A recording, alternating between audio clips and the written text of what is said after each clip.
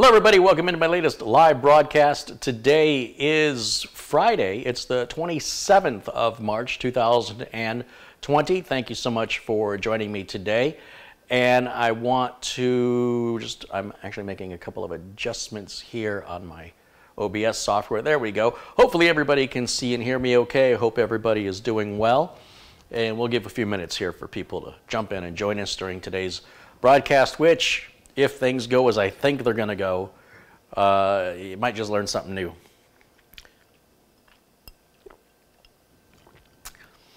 Today, I want to focus a little bit on AMD, and um, this isn't to bash on AMD, but it's to make you aware that when you're shopping for a CPU, it's not like you're comparing apples with apples. Well, that's not a good example oranges with oranges.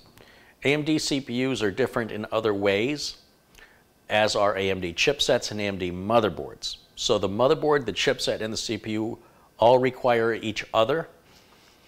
And AMD's platform is rather new compared to Intel's platform, which has just been built upon and has matured over the last 10 years.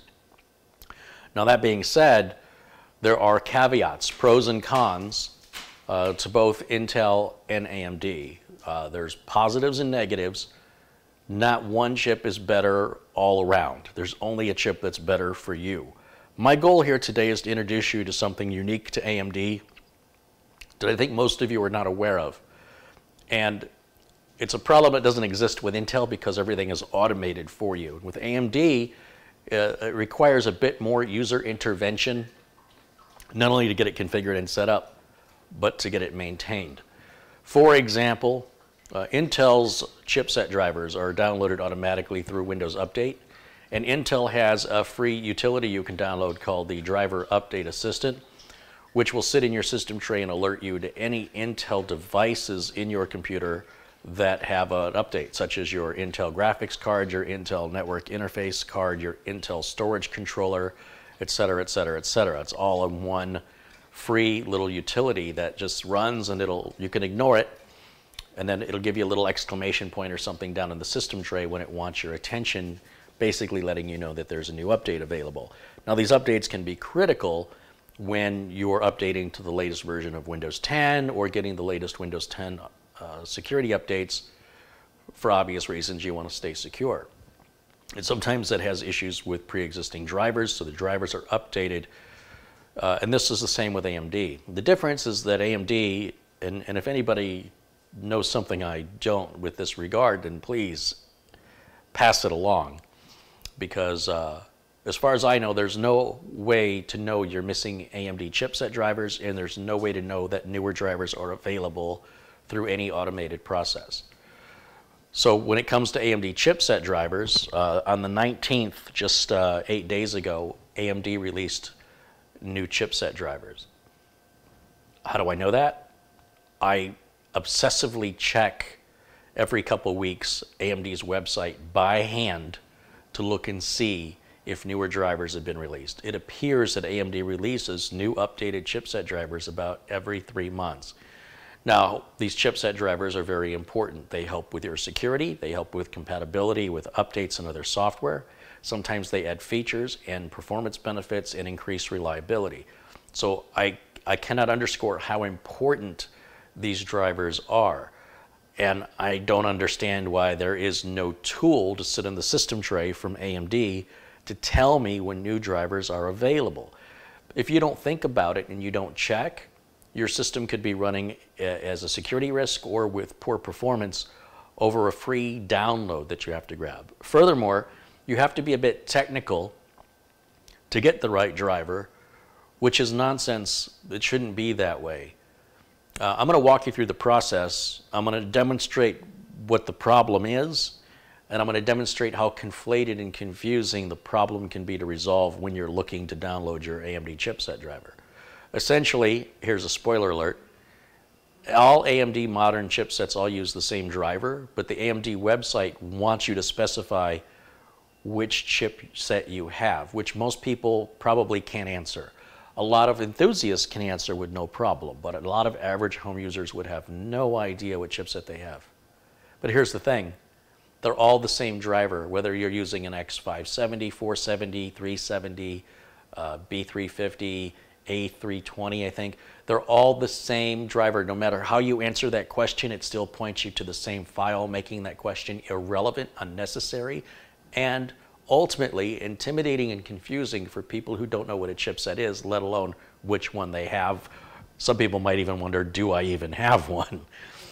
Uh, NVIDIA does this with their drivers. They'll ask you which NVIDIA graphics cards you use when like, I don't know, 35 of them all point to the same exact file. This is extraordinarily frustrating, unnecessary, and overly technical. This is designed by engineers for engineers. That's my theory. The consumer should never have to adjust to accommodate the technology. The technology should always adjust to the consumer. Now, to NVIDIA's credit, they do have an auto detect button that you can press, and it can tell you which cards you have so you don't have to enter it manually like you see me do. AMD offers no such thing. It's all manual, it's all very technical, it's for technical people, and if you're an average home user, your system may be running just fine. And the fact that you have not installed any AMD chipset driver because you didn't know to do that means that your system could be running better. Furthermore, if you did not know that AMD released an updated driver eight days ago, you could be running an outdated driver that is a security risk, potentially affecting your computer reliability, and at the very least, may not be giving you the best performance. And then, of course, when you get that Windows update that crashes your computer and you're all upset at Microsoft, what may be happening there is that you have a driver, could be a video driver, could be a chipset driver, that's old and was updated so that it would remain compatible with Windows updates. And so what the end user in their ignorance does is they blame the update that caused the problem when in fact they weren't keeping their system updated because AMD doesn't allow for an automated process to make the user aware. So at least with Intel, and I'll say this about Intel, regardless that, you know, that's not all roses and sunshine with Intel at least all of that is automated, and at least the Intel Driver Update Assistant is available to download for free to let it sit in your system tray and, and let you know when new network card drivers are available, new uh, video card drivers are available, new chipset drivers, SATA controller drivers, et cetera, et cetera, et cetera. Anything that's based on Intel in your system would benefit from the Intel Driver Updater. The only, the only thing is if you have a a pre-built machine like a Dell or HP, something like that, you always want to get your drivers from that manufacturer. So I'm strictly speaking here on machines that we're building ourselves. And since there's so many pro AMD people out there being very loud and annoying, they're leaving out very technical information that you as a buyer should be aware of. And that is the AMD systems currently require a bit more hands-on maintenance to keep things updated and performing well and reliable and secure than the Intel systems, regardless of all the other benefits that AMD offers. I'm not saying that they don't offer benefits. I'm saying that that one thing is a pretty major thing to consider.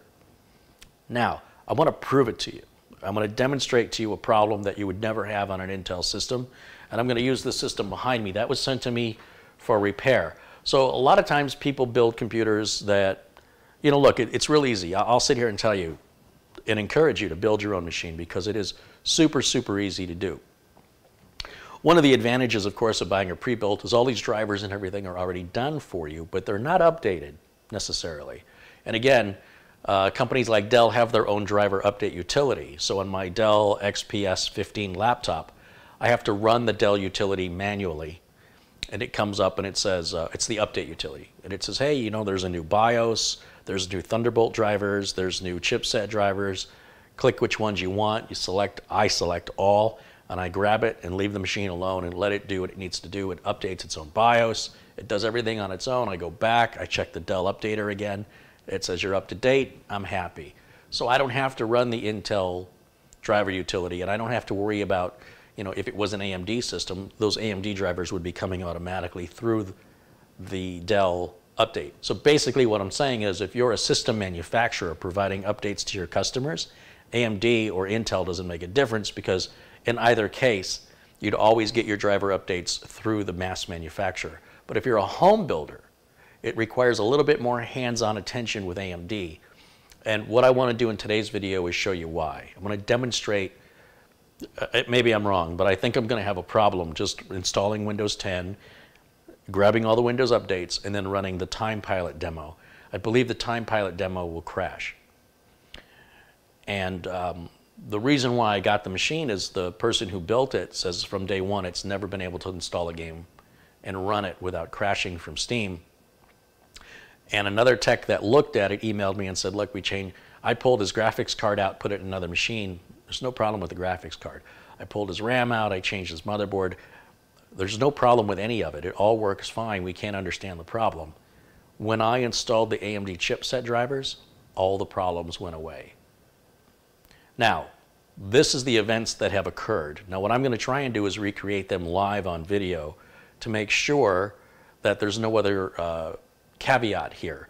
Uh, Windows 10 had been reinstalled numerous times.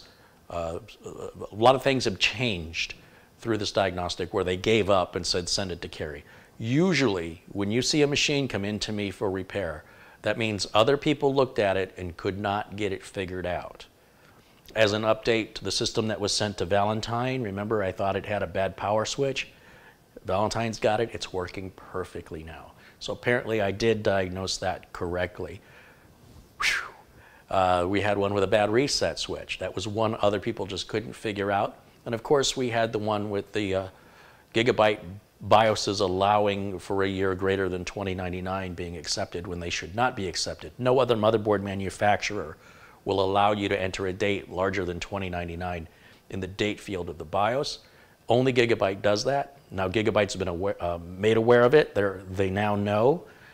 And they've issued one BIOS update for the board I complained about, but it affects, as far as I know, every board that they've ever made, at least from X, uh, from Z170 forward, as far as I can tell.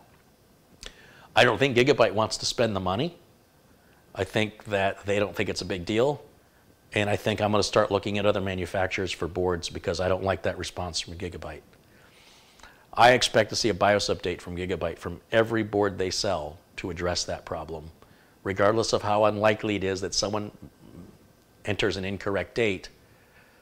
The, the fact is that if you enter an incorrect date with any other motherboard manufacturer, they won't accept it. And therefore, the problem of Windows locking up and not installing would not exist on literally any motherboard manufacturer except for Gigabyte.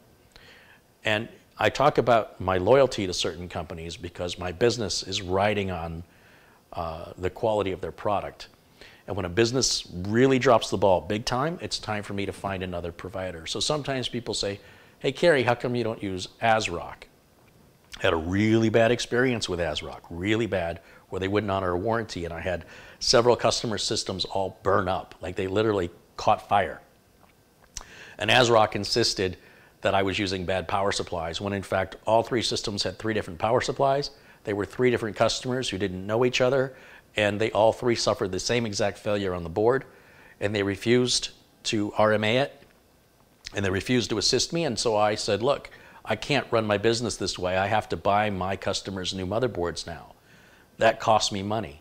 I don't know how much you know about business, but in business you're supposed to make money. Uh, if I didn't replace those boards, if I just told the customers, hey, ASRock's not warranting it, so I'm not going to warranty it, and even though your system's only a couple of months old, you're going to have to buy a new motherboard, uh, they would probably take their business somewhere else forever. If I was a customer, I would. So I had no choice but to do the right thing to buy my customers brand new motherboards, and I've never bought ASRock for many, many years after that, and I've started to revisit them now because as Gigabyte was good, now they're getting bad. They've added that mounting hole that no case supports. Now they've got this bad BIOS that they're not taking seriously, in my opinion. They're not acting quickly enough.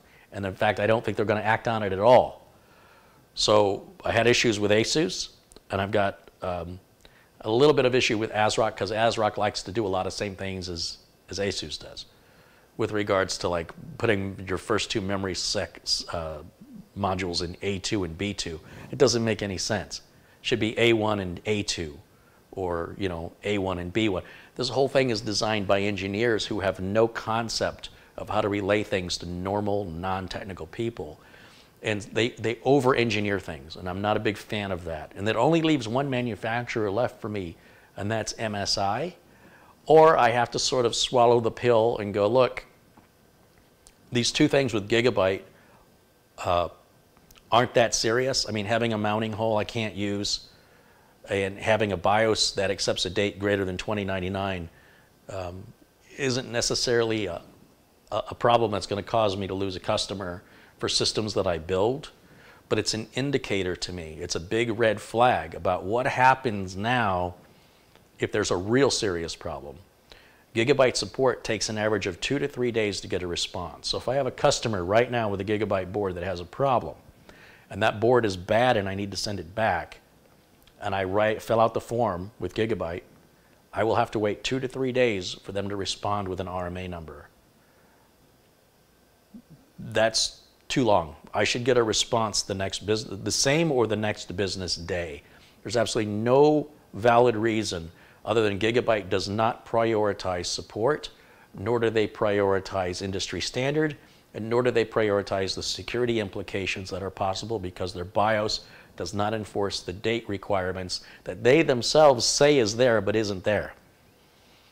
These are big red flags. And so what I'm trying to do is I'm, I'm trying to avoid whatever the next problem with Gigabyte's going to be because it looks like we're moving in that direction and it's time for me to now go somewhere else. So you might start seeing other manufacturers' boards. Now that's not to say that ASRock boards and Gigabyte boards are bad. It is only a business decision based on the sheer quantity, the sheer number of boards that I'm going through and how many I have to support. If you think about how many gigabyte boards, just think about this for a minute, that you've seen broadcast here on this channel, and every single one of those boards will now will require a BIOS update to fix the date issue. How many computers do I have to go back and revisit and apply that BIOS update to? Does anybody want to take a guess? This isn't like me sitting at home with a computer that I'm a hobbyist having fun. And who's going to do that work? Who's going to pay for that? That all comes out of my pocket. It all comes out of my, my clock. And it's not mission critical. However, as long as it remains unpatched, there could be security uh, implications that we don't know yet. And it's always possible that a customer could put the wrong date in at any time and call me for support. This would not happen if it wasn't a gigabyte board. So no matter what, I'm in a bad situation here, and my concern is that it's going to get worse. Right now, it's just bad. Um, in the meantime, uh, a lot of people are working from home, and, and that's a bit disconcerting to me as well because what I've experienced with people working from home is they don't have adequately secured computers and they're connecting to their company's computers.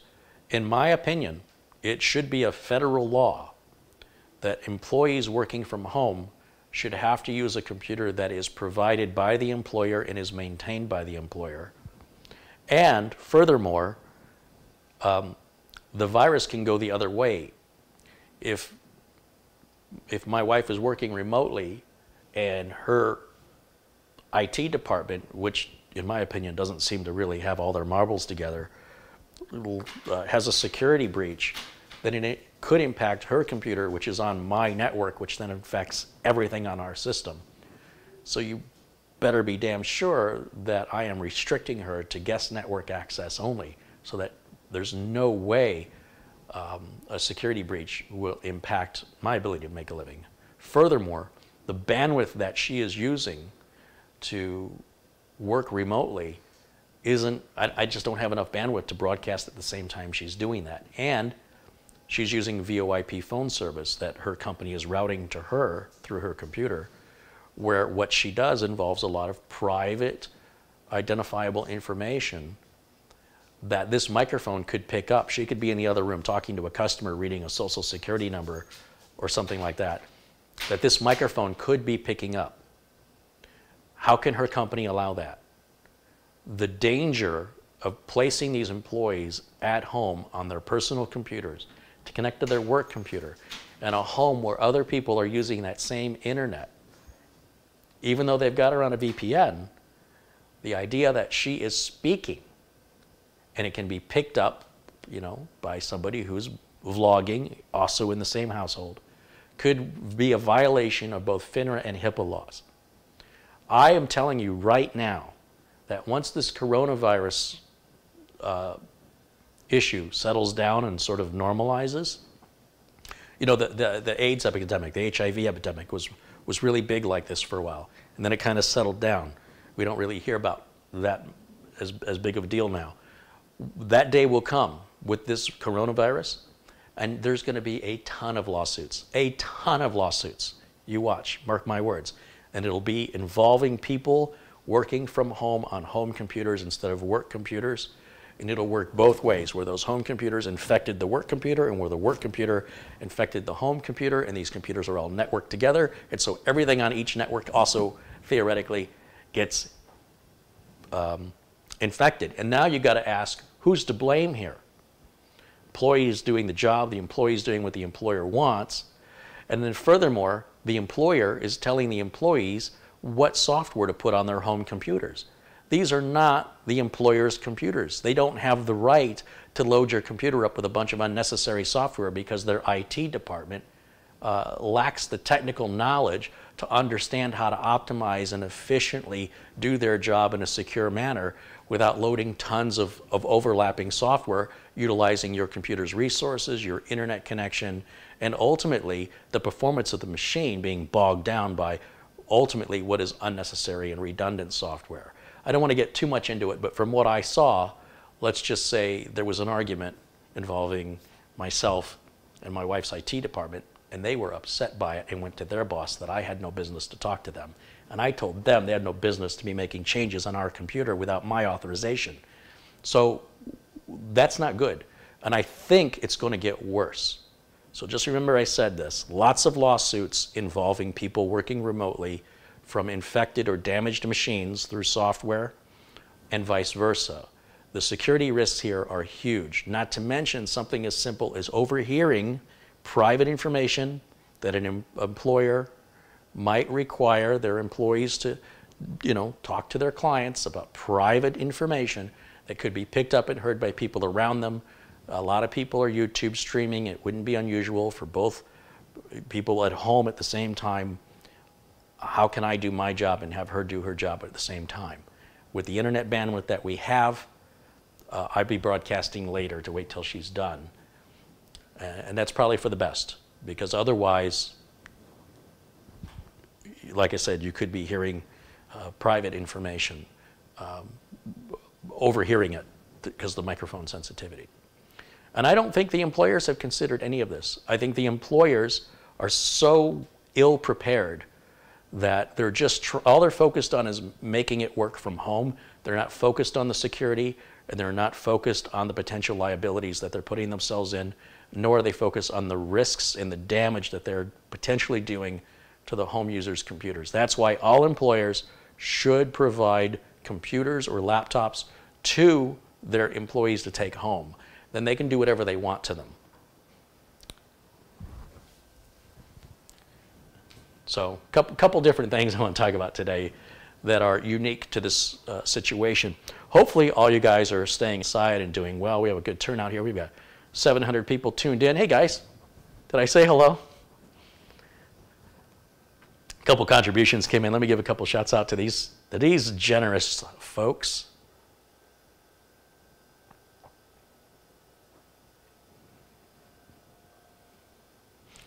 Let's see.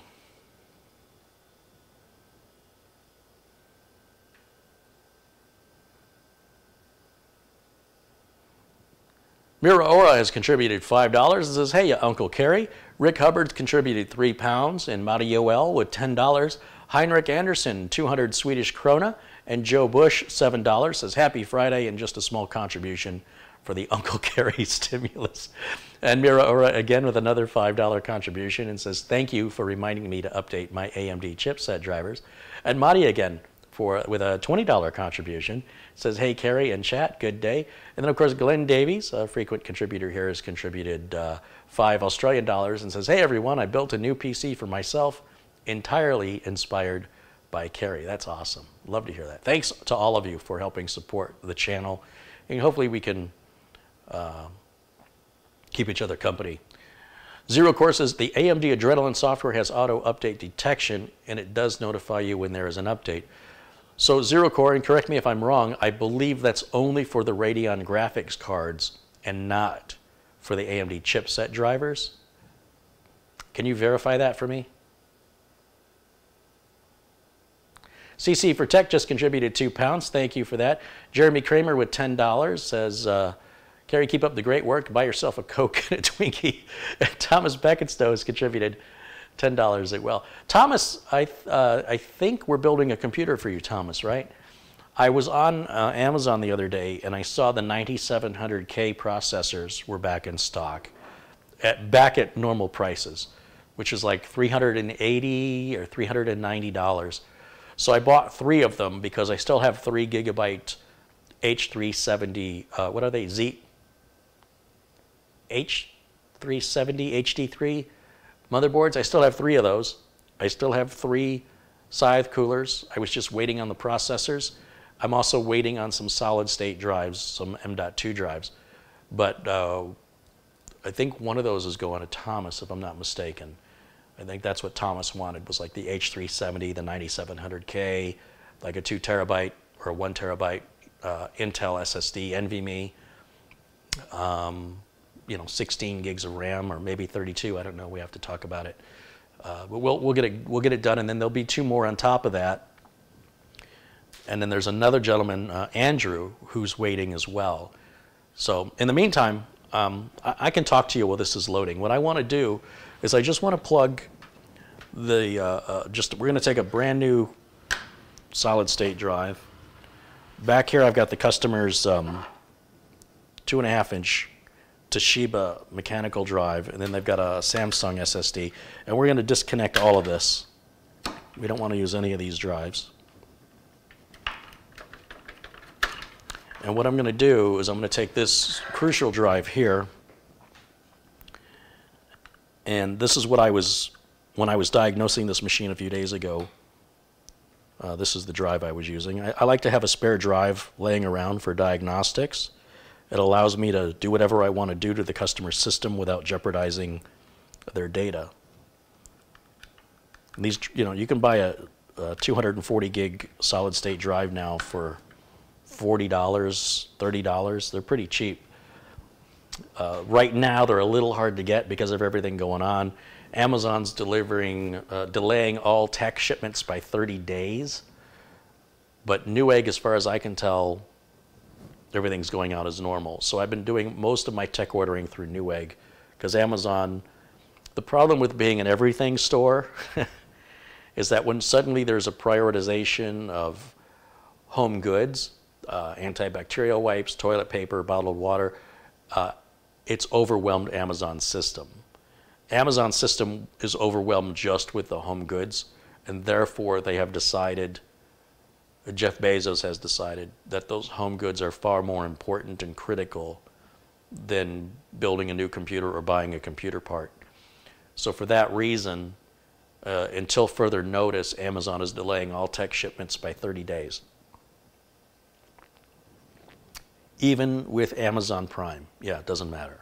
No, there's no benefit to Prime right now for tech shipments, which I, I don't know what to say.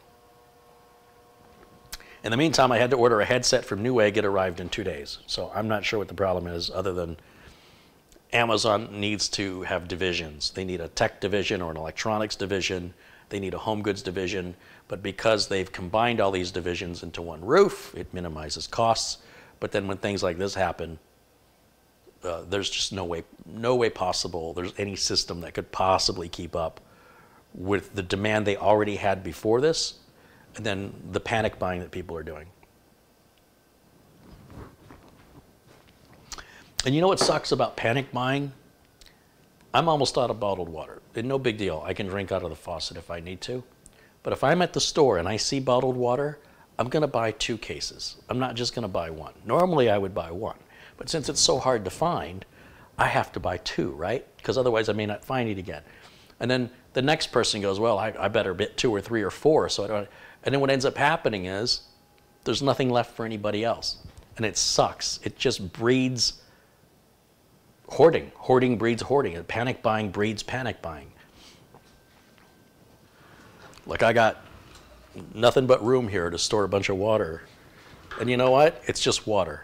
I can drink it out of the faucet. I can get a Brita filter, I get a Brita pitcher, fill it with water, and it's the exact same thing as the purified water people are buying. I buy spring water. Let me stick my nose in the air.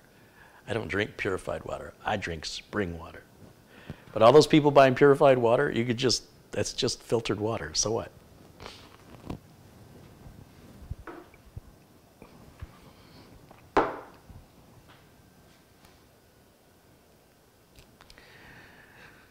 Greg says stores here limit water purchases. Yeah, I think they're probably limited to two. That's usually what it would be. They're, they're doing that here as well. And they need to. They absolutely need to. And, and I'm not going near a Costco. Oh man, Costco is just lines, you know, you'd have thought the zombie apocalypse was coming. 3% of the population are affected by this uh, as far as a mortality rate. The other 97% will get sick and get over it. And yet you'd think that it was a 50 50 chance the way people are behaving. But, you know, look, uh, certainly it, it's, it's easy to say when it's not affecting you directly. But the fact of the matter is, there's damage to the economy now. And um, it's going to be very difficult to recover the damage that's already occurred. And the longer this goes on, uh, the longer the recovery is going to take. So, in the meantime, do your part, stay home, watch YouTube videos, and don't go to the store unless you absolutely have to, and try and get in and out of there as quickly as you can, and avoid, avoid, uh, you know, things like door handles, and, and if you have to touch that stuff, then get some hand sanitizer, clean up really well. You know the, the whole routine, right? Because I don't need I don't need you guys getting sick, and I don't need you getting somebody else sick, because that would just make me sick. All right, so um, I've got the video plugged in, power plugged in, switches on. Let's get the keyboard and mouse up and running. Plug that in right up here. And I'm going to need an Ethernet connection, but not just yet. I'm going to just start by installing Windows 10.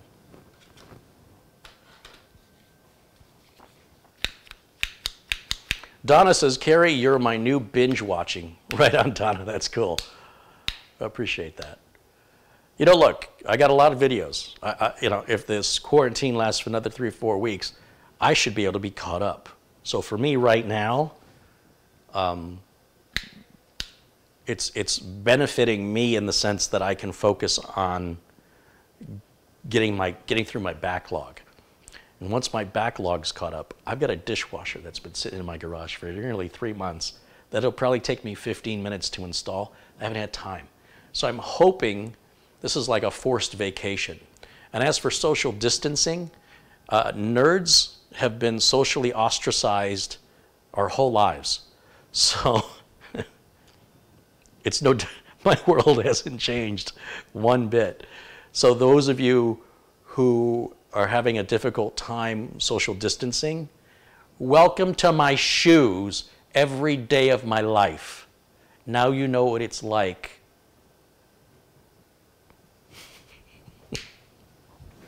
Seriously. Like I've been preparing my whole life for this. I've been socially distancing against my will just because I'm not good at it. It's awkward, I'm uncomfortable, so I avoid things that are awkward and uncomfortable.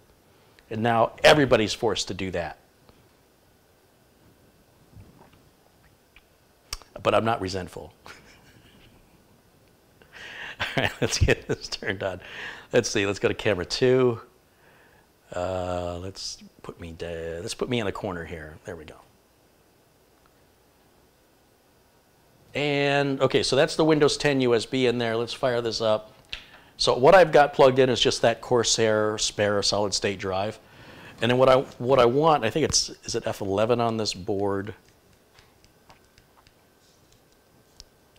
Um, if it's going to turn on any day now that it wants to turn on. Actually, it should be saying no signal. Why does it not say no signal? Hold on, I, I, there might have been a change in the software. There was also a, speaking of drivers, there was a driver update for my video capture card, which I just stumbled on. I just thought, hmm, I wonder if they made new drivers. And they did. And then applying that driver changed my uh, capture port defaults. So now I don't know which one is which. Ah, found it. Okay. And that's why that happened. So anyway, so F11 brought up the boot menu. And I want to use the uh, SanDisk Extreme partition 1. That's the flash drive. And we'll let that boot.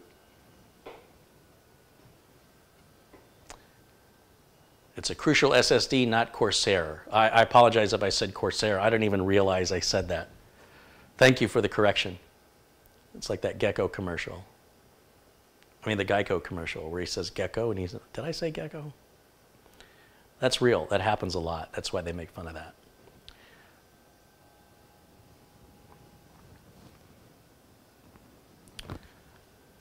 Uh, let's see.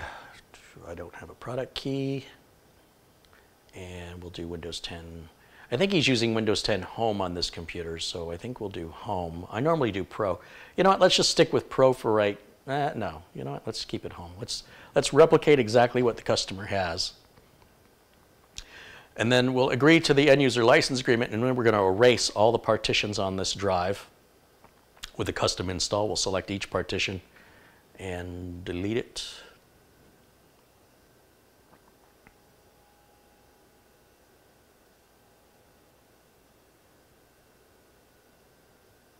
My screen is really, really small. So I'm having a hard time reading it. And if I make the screen bigger, I can't see the chat. I really need two monitors, but then I don't have any room in the kitchen to put two monitors.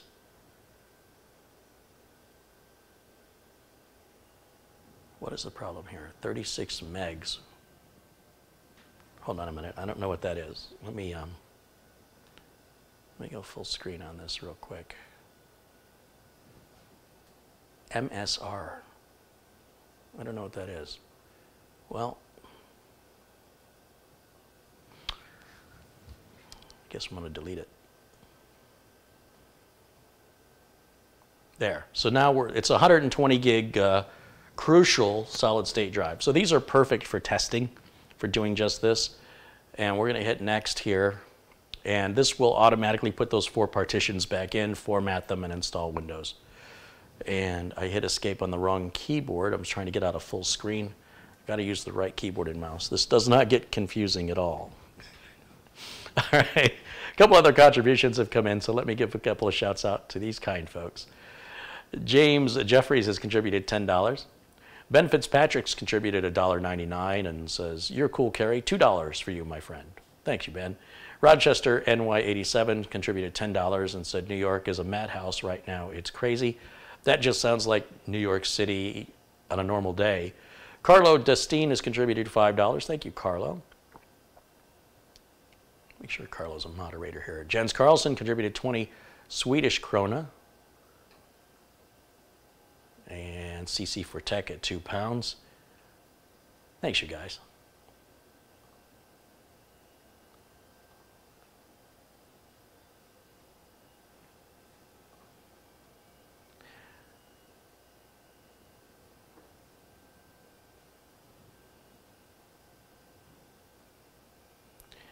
There may be some buffering issues with today's stream. I'm looking at OBS right now and it did drop into the red briefly. I've had about, uh, looks like 1.4% of drop frames during today's broadcast so far. Stick with it, the audio should still come through okay. The video may get a little glitchy sometimes. There's very heavy internet usage happening with everybody working from home, which is another reason for me to start my broadcasts at a later time than normal. I'm on a cable connection where people share nodes. And so if the nodes are under a lot of use, it will affect everybody on that node. so that may be the problem. Some people having issues with uh, focus is probably because your resolution is set too low. Within YouTube, there's a little gear in the lower right corner that asks you what resolution you want to watch the video at. We're broadcasting out in 1080 HD, and of course you can select 720, 480, 360, or 240. The lower the res goes, the more out of focus or blurry the video may look, and that's on you. I can't change that. YouTube has reduced the quality of streaming by 25% in Europe as have Netflix and I believe uh, Hulu, if I'm not mistaken, because Europe's internet infrastructure is being taxed very heavily at this time. And so most streaming services are cutting the bandwidth by 25% in Europe. So that if you're in Europe watching me, uh, you may be impacted by that.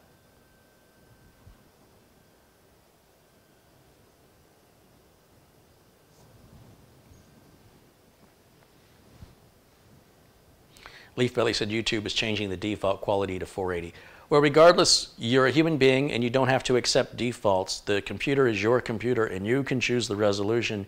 You don't have to be mindless and just take what it gives you. You can actually configure it the way you would like it. It requires doing this with your finger on your mouse. It's not a big deal.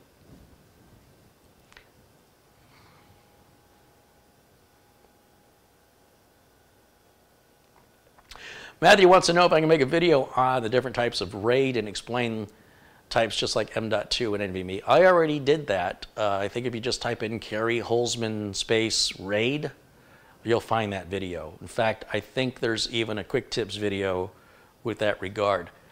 It's not something I cover very often here because my channel is really for average home users, not technical people.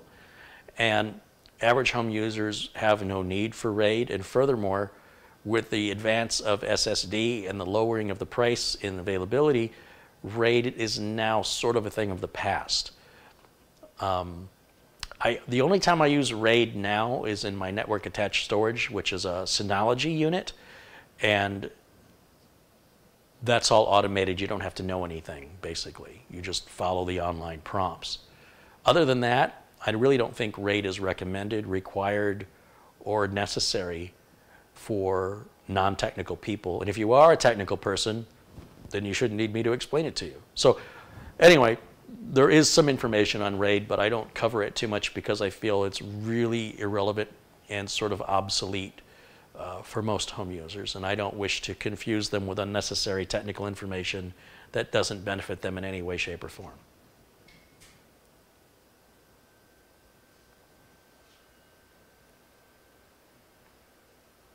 Okay, so now you see how fast Windows 10 installed. This again is a this is a brand new machine that this customer built. I think he said he built in August and was not able to get this thing to work. I think he said he hasn't even put a, an hour of use on it trying to get it to work. so if you've seen me install Windows 10, then of course you recognize all these little things I'm doing. I do always, always do the same thing over and over again. And I'm just going to put a username of user in here for now because we have to put a name in there.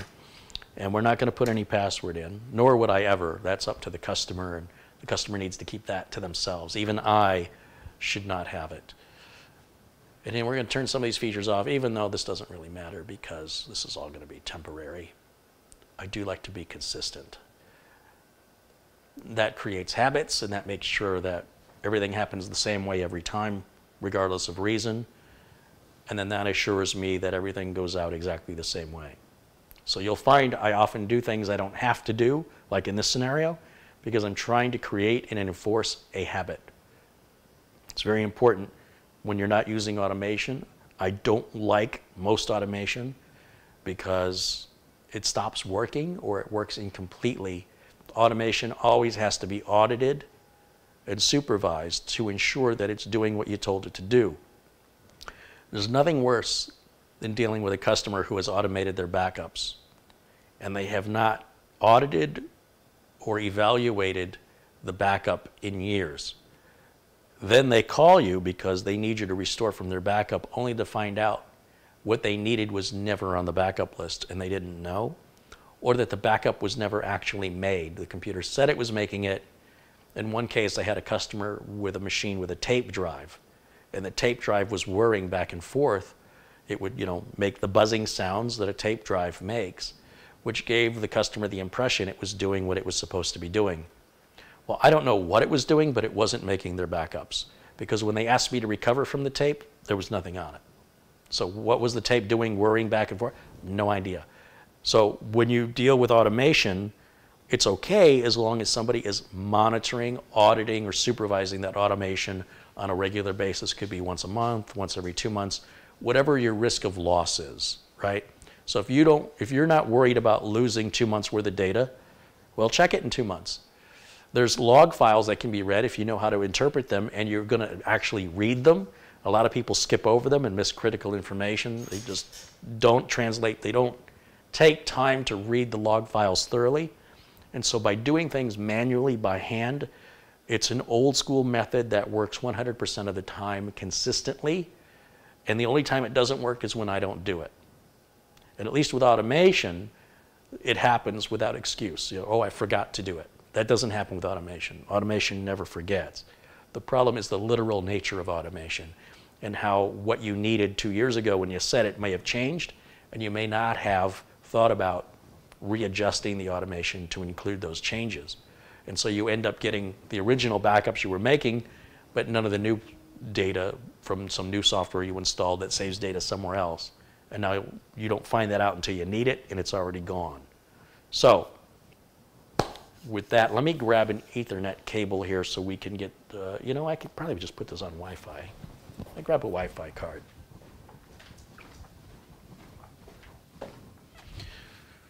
What I like to do is get Windows fully updated. I want to give this computer every chance to work. We're done with this, so we'll unplug that and we'll plug in this. This is a TP-Link Wi-Fi adapter.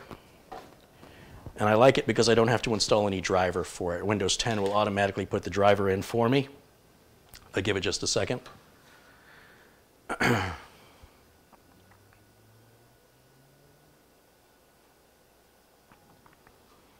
should be down here. And then I can put this on my network. Which one do I want to go to here?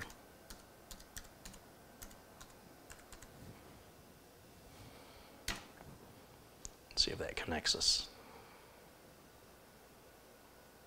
Now it wants me to create a Microsoft account because it senses that I'm online. You got to go to this lower left, look for this little box down here to skip that. A lot of people don't see that and they think that they have to create an account.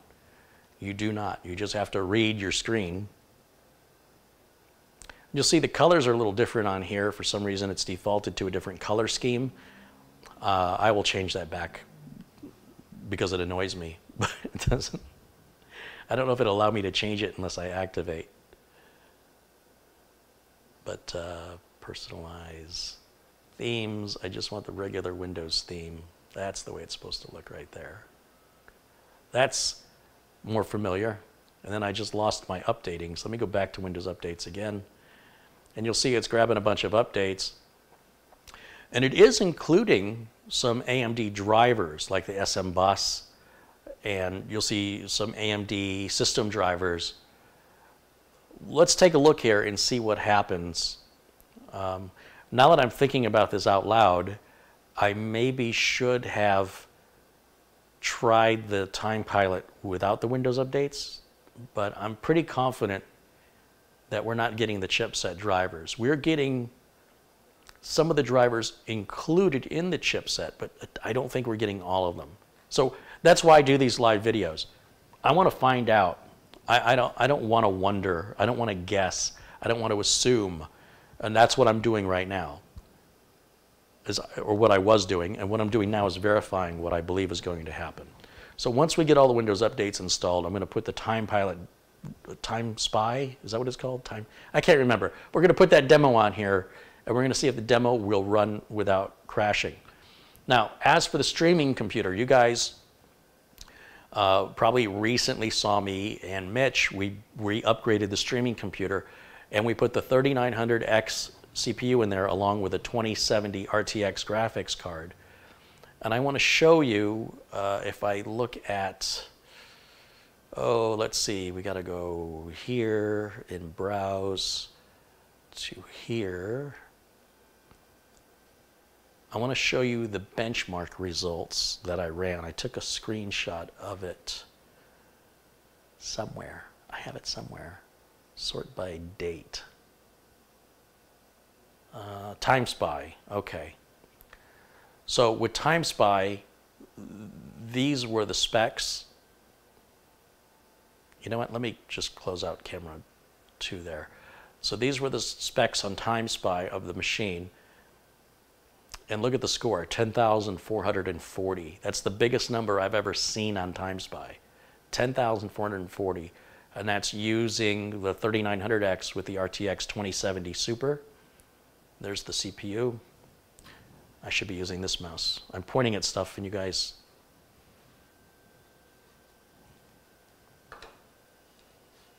Where's my mouse? Oh, I can't show it to you. That's on the other machine. Okay, just confusing myself. Don't, don't just pay no attention to me. Um, and of course, the main, the main TimeSpy score right there, what that looks like. So that, that's, that's pretty darn impressive. The machine is very loud. When I turn it on, that graphics card sounds like a jet. But then after about six or seven seconds, it calms back down and it's nice and quiet. That is a little worrisome for the streamer. So I'm back to using the upgraded streamer. I've taken the little mini computer streamer to a secondary location that I'm working on to have as, a, as an alternative place to film, but it's got its own issues over there. Um, one, not the least of which is that it's vacant and very hollow and echoey. But uh, I'll be doing some test vlogs from there to see if it's going to work okay. All right, well, let's get this out of the way. Let's go back to camera two, see how we're doing on our updates.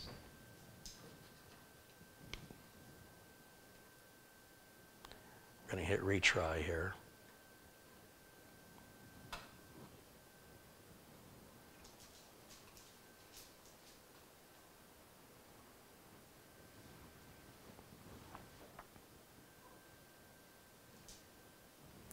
Brendan Looney has contributed two pounds. Mike,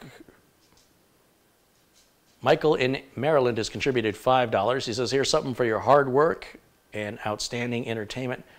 There is substantially more in your PayPal. Well, thank you very much, Michael and MD. We'll make sure you're a moderator here. I appreciate all of your support. You guys are my sponsors. Uh, Planet Kryros has contributed $20. It says, Carey, please stay healthy and drink a Coke on me. I intend to stay healthy. I intend to. Mer Melanie Chambers has contributed five pounds, says stay safe, Carey, and the rest of our little community. Agreed. Thank you, Melanie. Um, look, again, I want to reiterate for those of us that have healthy immune systems, 97% uh, of us will, will be miserable but get over it. And 3% of us, according to the statistics, um, aren't going to make it. So, um, you know, best to just not find out which one you are. Just don't get it. How about that? James Jeffries has contributed $10. Thank you, James. I appreciate that. Yeah, it's an interesting situation with uh, with this shelter at home stuff going on. I've never seen anything like it in my life, as I imagine most of you have never experienced anything like it. And I think that uh, this is a great opportunity for YouTube content creators to have their audience, you know, where people are forced to stay at home and find something to do. My videos do tend to go on for a while, so I hope that I am um, keeping you keeping your mind off of all that stress and anxiety of what's going on outside your front door. And uh, you know, I, I think it's important that we have a good attitude you got to be cautious, you've got to be smart, but you don't have to be miserable and scared. All right? Relax. If you're smart, if you wash your hands, if you do what you're advised to do, just relax and make the best out of it. You know, I'm the kind of guy that if my house was on fire and I was about to lose everything in my life, I would look for a bag of marshmallows. I mean, you, you just got to find a way to make the best that you can of it because as long as you're not doing anything to, you know, to encourage or enable other people getting sick or yourself getting sick, one of the things that that I believe makes our immune systems weaker is stress. So if we're really stressed and the news has you freaking out, you can make yourself sick or you might think you're sick because they're just constantly talking about it over and over and over and you're like, oh, is my voice, my throat's a little sore. I, you know what I mean? That's not healthy. So, uh, not in my opinion. I think it's important we keep a sense of humor and no matter what cards life deals us, we stay in the game and we play our hand. With every card you're dealt, you make the best hand out of it. I've been delivered some really crappy cards in five card stud poker and turn around and had, you know, a winning hand. It's all on how you play it. So, just to make an analogy out of it. So, I'm hoping that we can just get away from that talk and just focus on the tech side of things and, and um, and I'm seeing, I just saw my screen go blurry, just like what you guys are talking about. That's where the resolution drops. It's like my, my resolution on my the monitoring dropped to 144. I don't need it at 1080, but I'll put it at uh, 720, and then that fixes that right there. I see a lot of people are just happy to get away from the news, you know, because the news is just repeating itself over and over and over again, and they like to throw scary numbers at you, and they, they make a lot of money doing that. But on the other hand, a lot of people wouldn't take this seriously if the news wasn't making a big deal about it. And we do need to take it seriously. But my fear is it's not a fear. My concern is that there are people living in fear. There are people who are really stressed out and have a lot of anxiety right now. And stress and anxiety could potentially lower your immune system, making you more vulnerable. So that's going to ease your mind, right? I have a philosophy, and that is you just make the best of any situation.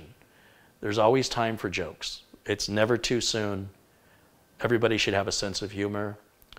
Um, this is a good time to laugh, but not at anybody's expense, but just a good time to laugh in general and to smile and, and to be positive. I think attitude is 90% of life. 10% of life is what happens to you, and 90% of life is how you choose to react to it.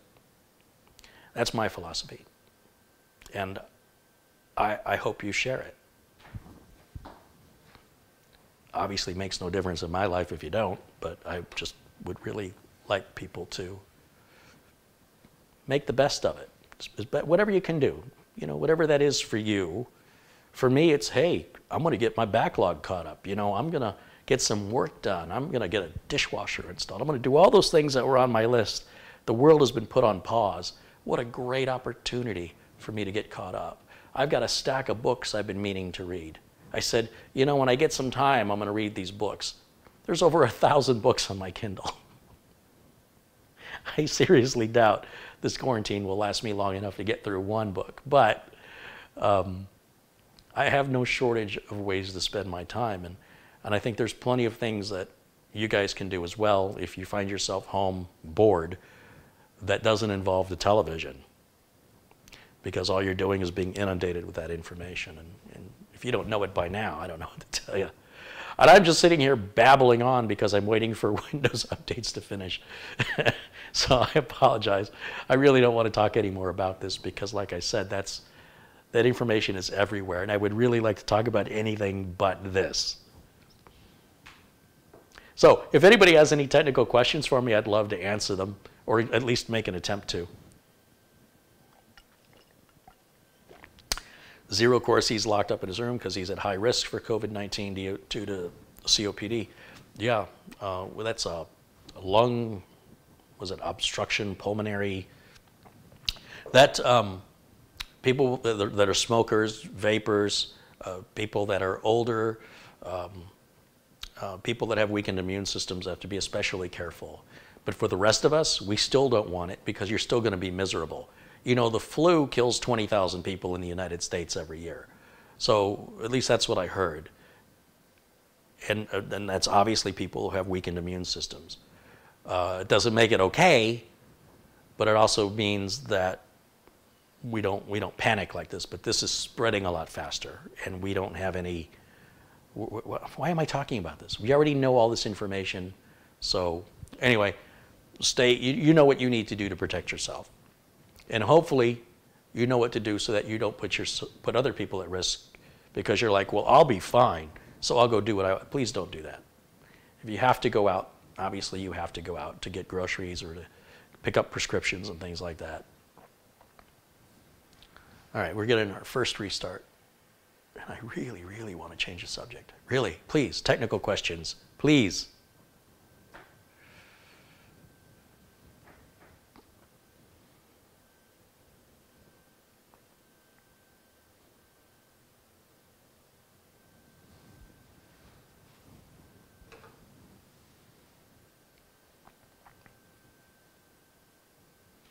Chronic obstructive pulmonary disorder.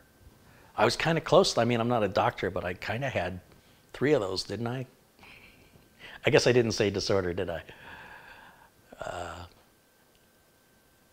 I like to impress myself with things I shouldn't know. I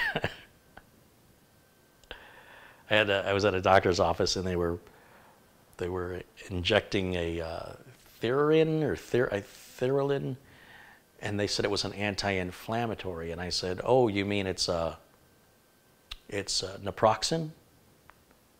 And she's like, "Yeah." She's looking at me like, "How do you know that?" I'm like, "That's an NSAID, right? It's a non-steroidal anti-inflammatory."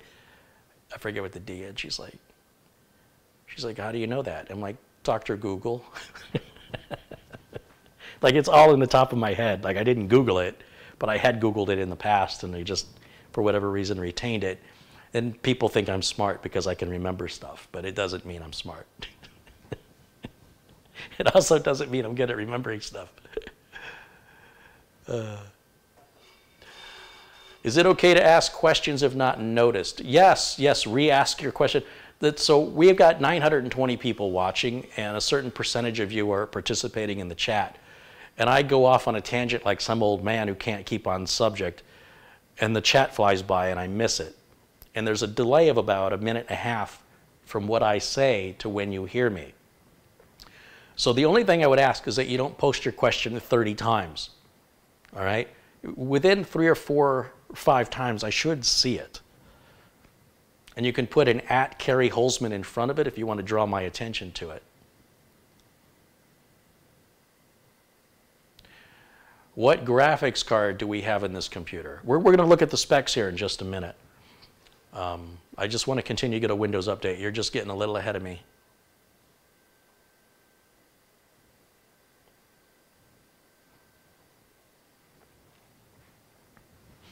Calling Dr. Holzwood. So, being from, from Detroit, my... Uh, my dad's baseball buddies used to call him Dr. Detroit. And when they would go to restaurants, they would say, you know, table for two, what's the name? And his friends would say, Dr. Holzman.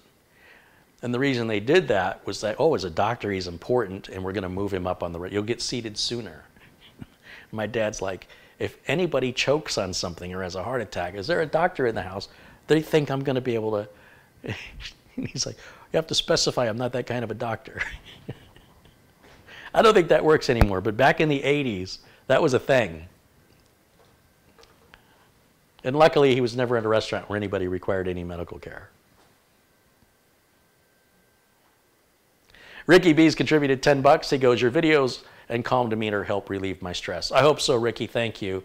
And um, you're already a moderator, which is great, as you should be. Thank you for your contribution. Thanks for supporting the channel. I want to remind you, oh wait, Samuel Ramos contributed $10. He says, Carey, it's nice to see you again live streaming. Thank you, Samuel. Appreciate it. I spent the last couple days at this alternate location trying to get it ready uh, as a filming location. and it's going to take a lot more work than I thought. I started it, and there's parts I need, and it's a half an hour away from where I live, so it's not like I'm going to jump in the car just to grab one little thing. And there's some stuff from Amazon I'm going to have to order, like um, I need an extra microphone, I need extra batteries, extra battery, well, rechargeable batteries, plus a recharger, plus I, I, forgot the hot shoe for the camera, so I've got the tripod and the camera with no way to put the camera on the tripod because I forgot the darn shoe, and I'm not driving all the way home to pick up a little shoe. And I'm starting to realize, okay, do I have a long enough Ethernet cable? Do I have enough HDMI cables? Are they long enough? And I don't even know what the upload bandwidth is there. It may only be seven or eight megabits up. And as long as I'm doing basic stuff, it should be okay. And then I have an echo issue. And the echo issue, I'm probably gonna have to buy some rugs the rugs I want to get are $300 each, and I need at least two of them. And I don't even know if they're going to make a big difference. But I know that tile floor is going to be a lot more comfortable with carpet. So these are all things I'm doing in the background. When you're not seeing me live, it's because I'm working on other projects. Plus, I still have the computers to finish building that have to be shipped out. Michael in Michigan is like, Did you forget about me? And um, that's embarrassing. When a customer has to reach out to you and say, what's going on, that means I have not been communicating well. this customer here, this repair, is something I wanted to do while it's fresh on my mind to get to a solution to find out if what I think is true with the importance of those AMD drivers. Also, I wanted to remind you that the AMD drivers were out there and available uh, and just released. So if you have an, a modern AMD computer, you should download those drivers. And I'm going to show you how to do that in just a little bit here. Rick Rubisette has contributed five euro.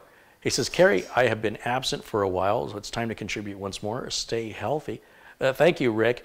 Also, I had a nice contribution from uh, Rudiger Luthi, contributed via PayPal yesterday. Uh, very generous contribution to the channel. Thank you. I hope I am not mispronouncing your name. Um, we see Rudiger Luthi in the chat all the time, and uh, I just want you to know that those contributions mean a lot to me.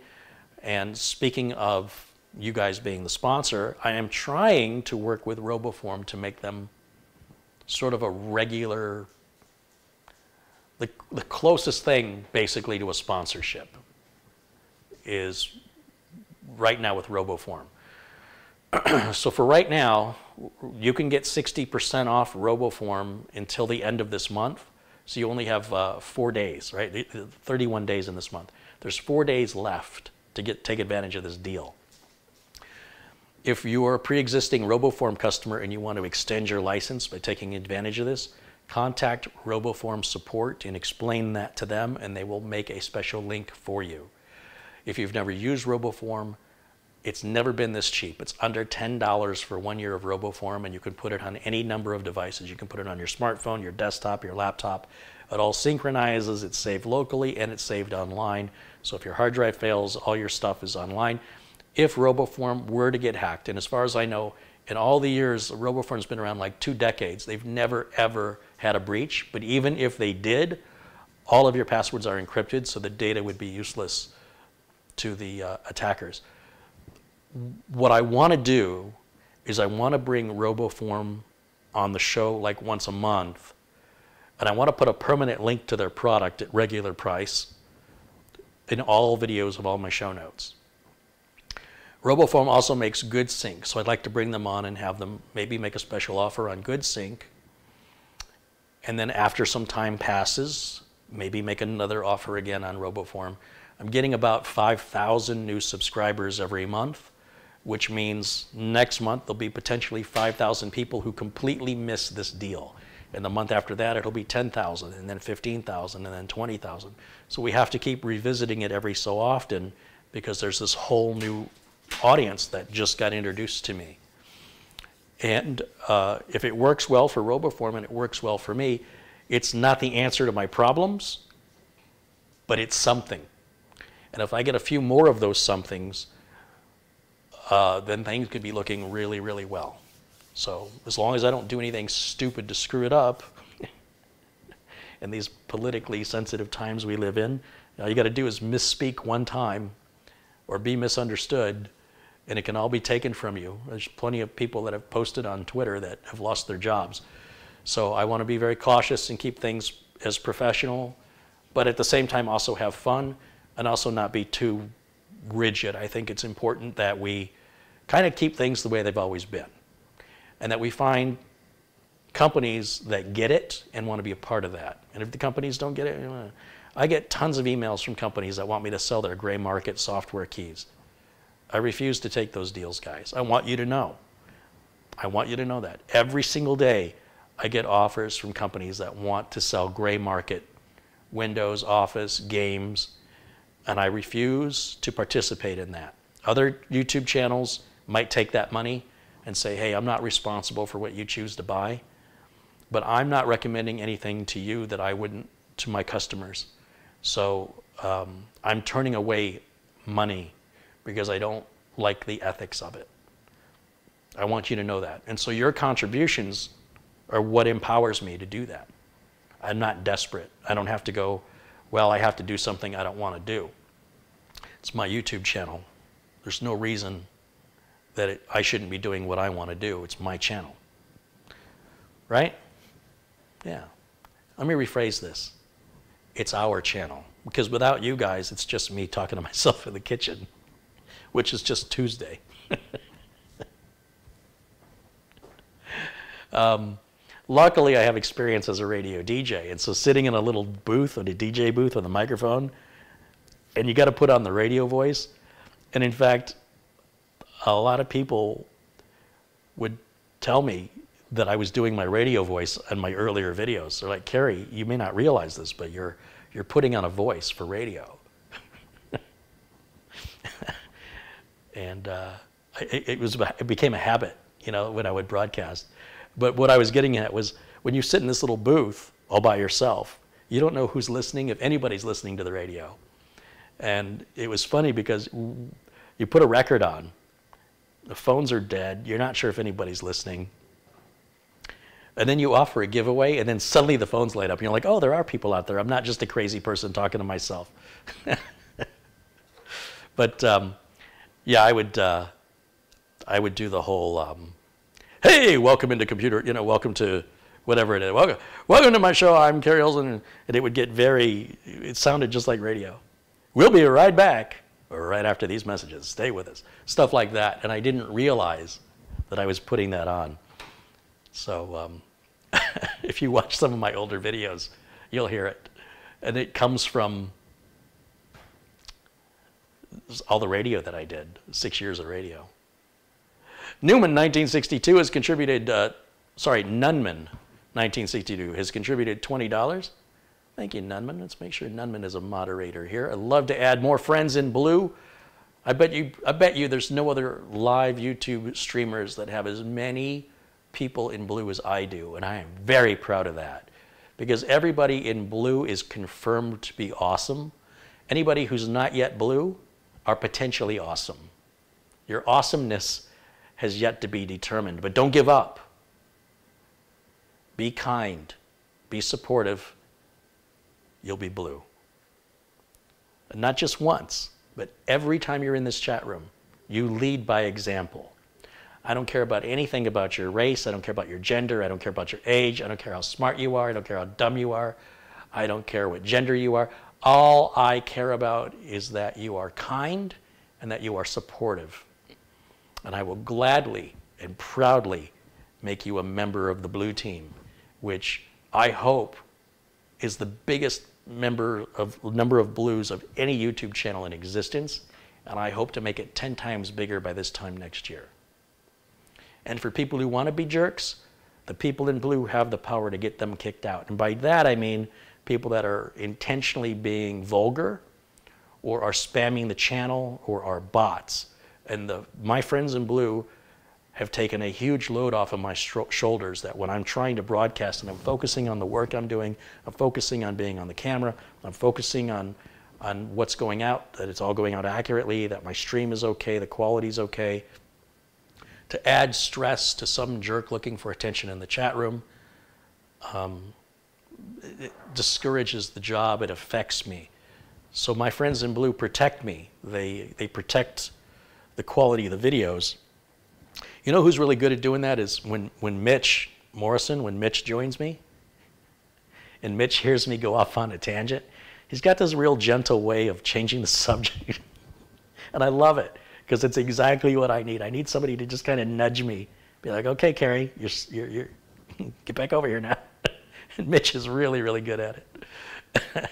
you watch, watch videos with Mitch. Watch when I go off on a tangent and watch how Mitch brings me back. You may not even have noticed it. Mitch is very subtle, and I need it sometimes.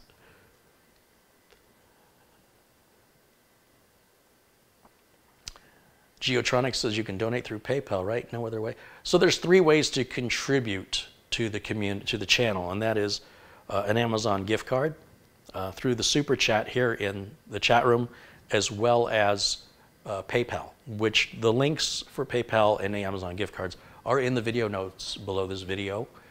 And, and, you know, those are financial contributions. There's other ways you can contribute. You can contribute by sharing these videos uh, not downloading them illegally, but posting the links to my videos on your social media platforms that you visit or Reddit threads, whatever.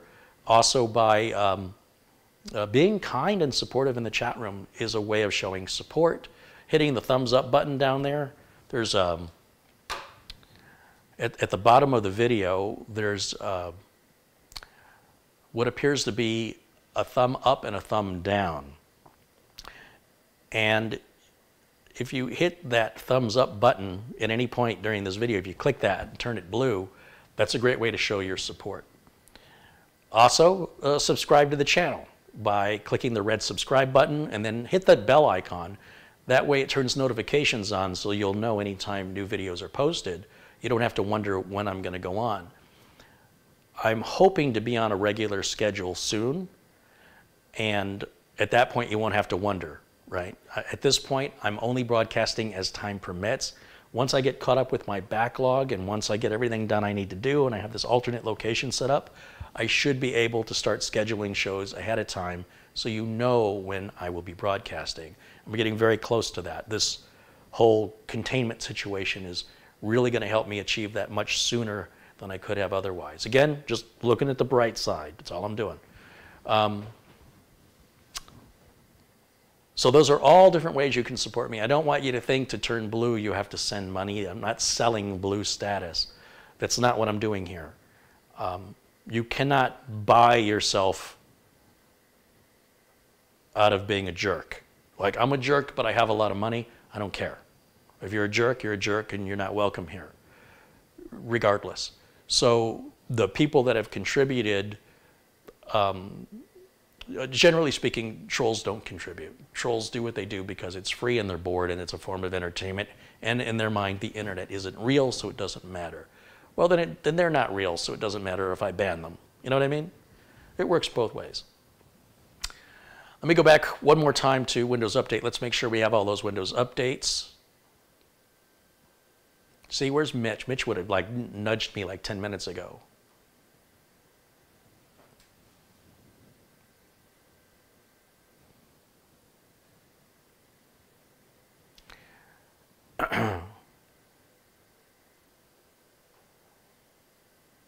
the real BJOD says, I love your videos. There you go. You get a moderator status. See? Flattery will get you everywhere. Just being nice. But don't just be nice to me. It's important that you're nice to each other. If somebody says something you don't agree with and you cannot communicate with them without getting angry, stop communicating with them. Don't let it get into a fight. Don't let it get into an argument. They're as likely to change your mind as you are to change theirs. And you should already conclude that. Just go, I'm not wasting any more time with this person. If they're not doing anything that, that is, if, if it's not vulgar and it's not trolling, but they're just somebody who, who believes something that you don't believe, then just ignore them. Lead by example. Uh, I don't want my moderators to get abusive with their power because somebody says something you don't agree with that you ban them. If you do that, I'm going to remove you as moderator because I need my moderators to only remove vulgar comments uh, or people or spammers or bots. Those I want you guys to ban or hide from the channel. Anything else, I want you to, if it's a concern, bring it to my attention, let me decide because you may be costing me viewers and it's a waste of your time, by the way. You know, if somebody's going to say something that's ridiculous, just don't respond to it. Just but what you're doing by responding to it is you're feeding it. And then they respond and you respond.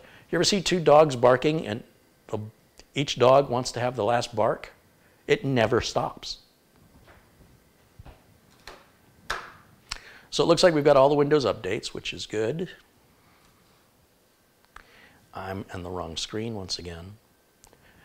All right, so if you've been following along with me now, you know that I've just done a clean install of Windows 10 Home Edition, right? Was what I put on there, Home. And I'm going to do a few other little things. I'm going to grab my utilities flash drive. Some people have asked me all the utilities that I use. I only use like a half dozen utilities. People have asked me, can you put those utilities on a flash drive and sell it to me? That's illegal. Cannot do that. These are free and open source utilities and they're constantly updated.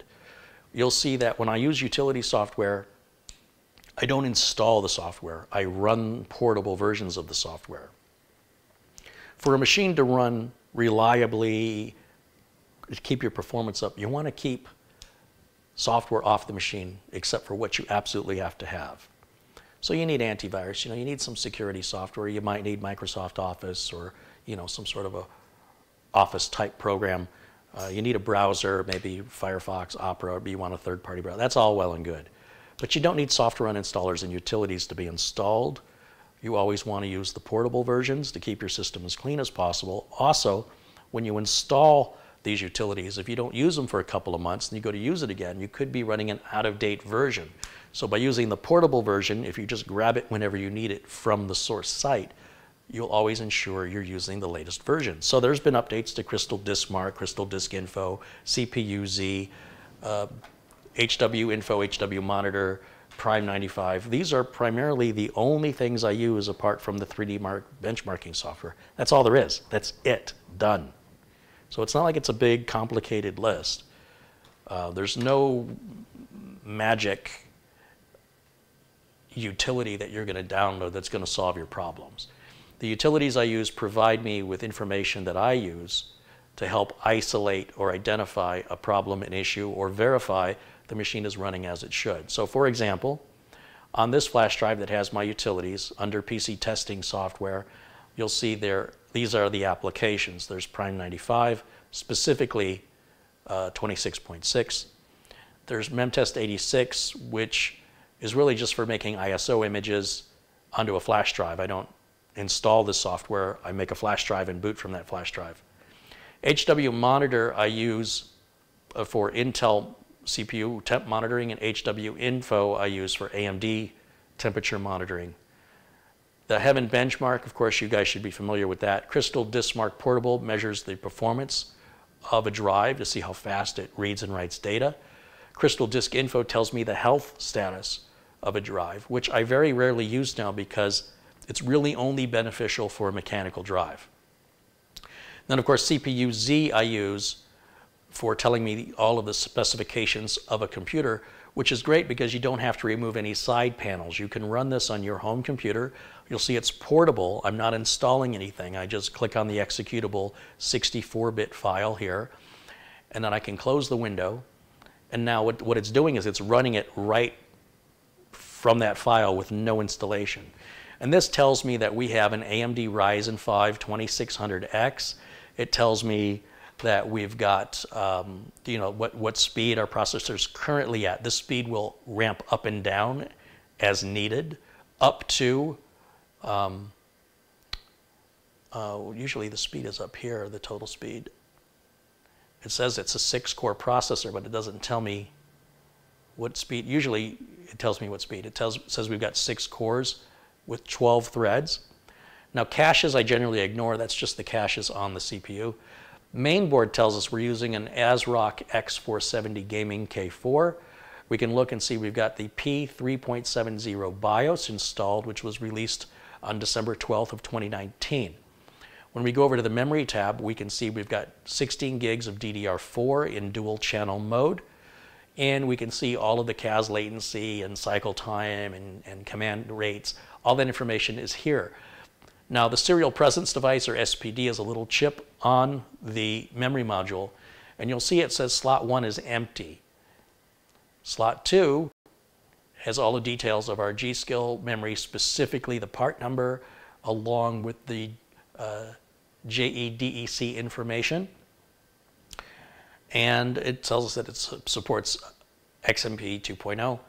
Slot 3 should theoretically be empty, and it is. And then slot 4 is the same uh, module, well, not the same module, but the module with the same specs. So therefore, by skipping a slot, we're in dual channel mode. Slots uh, 1 and 3 and 2 and 4 are two separate channels, and that improves performance. For graphics, we're using an NVIDIA GTX 1660, and so we're going to want to install that driver.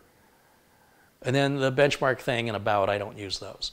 Primarily what I'm looking at is the main board information, specifically for uh, making sure I have the latest BIOS and I know what motherboard I've got. And I love that I can get all of this information even remotely. I don't have to be in front of the computer. I don't have to take the side panel off. And I can see which, you know, are there memory sockets available? Sometimes CPUs, he gets it wrong though, but most of the time it's right. So what I'm going to do is I'm going to go to NVIDIA and we're going to download the 1660 driver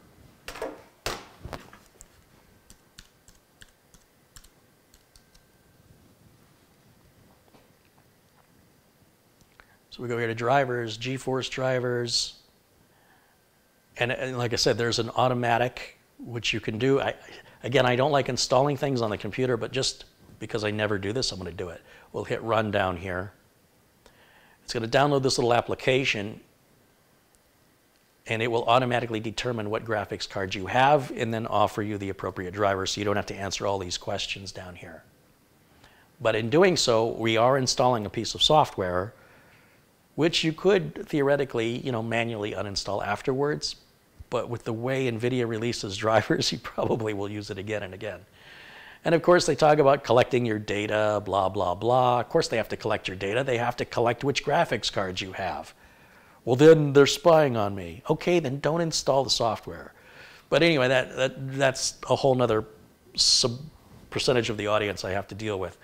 But here, it's going to install the um, GeForce Experience software, which then should enable us to, uh, to tell us which graphics card we have and automatically provide the driver so that we don't have to. I'm just afraid it's going to require a login.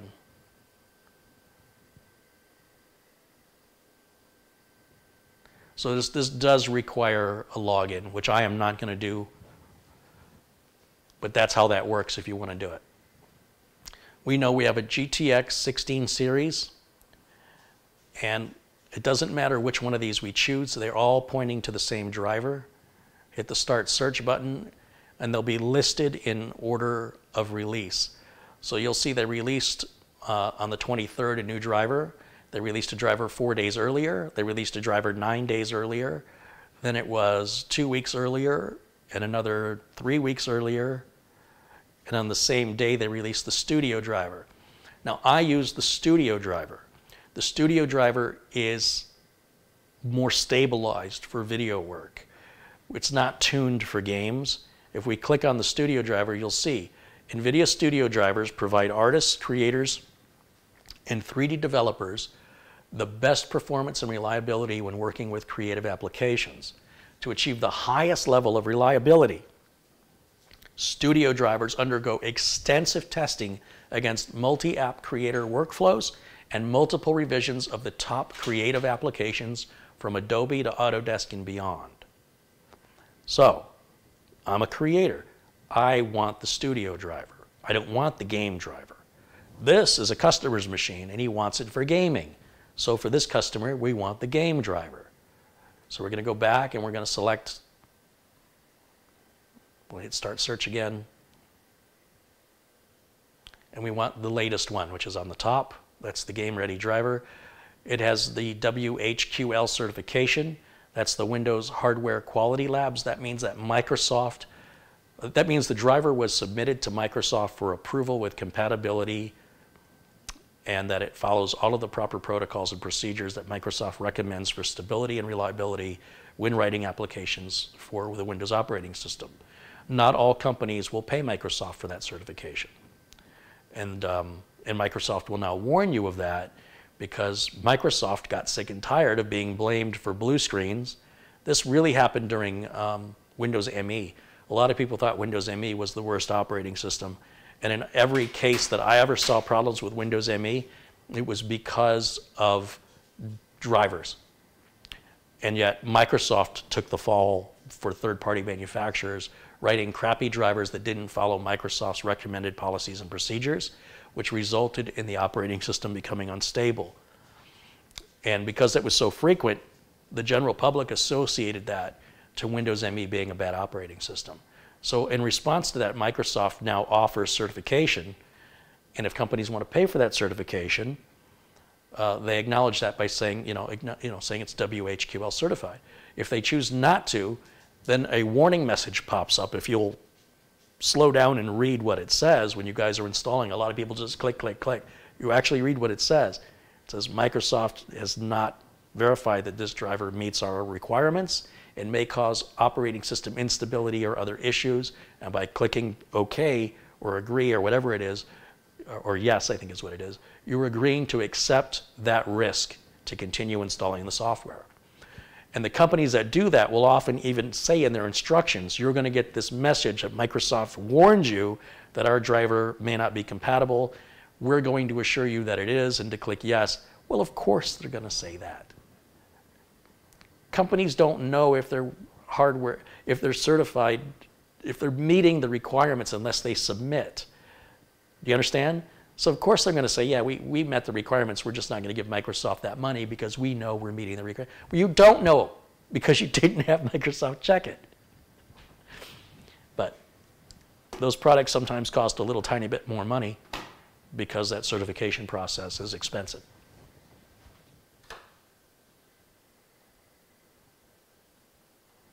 I'm just doing the regular, nothing special here, just the regular express install of the driver. Holy smokes, I just missed a big contribution. Where did that come from?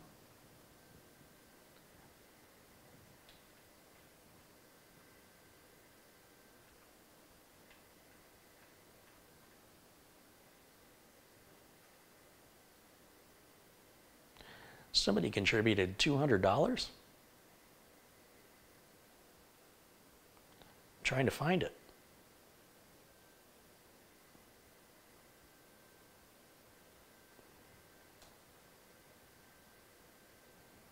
Marvin Jameson contributed 200 US dollars. Wow, that's extraordinarily generous. Thank you very much, Marvin. That means a lot to me. It's, it's, it, it, helps greatly, as well as all the other contributors, by the way, because it all adds up. Uh, that includes, I'm going to repeat some here, uh, Ricky B. and Planet Cryos, as well as Nunman 1962 and William Cregan. John Dorrington contributed two pounds and says, Hi, Carey from Sidcup, UK. Space Lord contributed two pounds and says, have a Coke on me.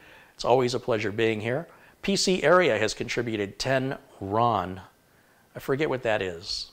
Romanian? I can't remember. Uh, says, love your videos in streams from 2014. Right on. Uh, Bubba2424 contributed $10 and Mira Ora contributed again $2 and, and is telling me Marvin Jameson donated $200. Well, Marvin is certainly a moderator at that level. Uh, I guarantee you no trolls are sending me that kind of support. So thank you so much. That's unheard of. I appreciate that very much. Usually in Super Chat, the contributions stay uh, at $20 or below. And the reason for that is that um, YouTube takes 30% of whatever you contribute through Super Chat. When you contribute through PayPal, PayPal takes 3%. And if you do an Amazon gift card, then I get the full amount.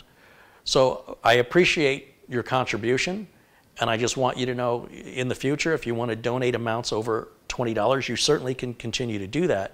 But please be aware that, that YouTube takes 30% of all those contributions in Super Chat. They also make me wait a month before I get them, and they don't give me any receipts, so I don't have any way to thank you personally like in an email. With PayPal, I always email a thank you to people Uh, and the same with the Amazon gift cards. And if somebody says, uh, I don't like you anymore, I want my money back, I just refund their money. I, I can't do that in Super Chat. Um, so uh, I, I, I, want you to know you're, you're welcome to do that as many times as you want, but if you want more of the money to go to me and less to YouTube, uh, do those contributions through PayPal or an Amazon gift card, and, and I get to keep more of it. But thank you so much. It is really, truly appreciated. So let me go back to where I was here with, uh, with the driver installation.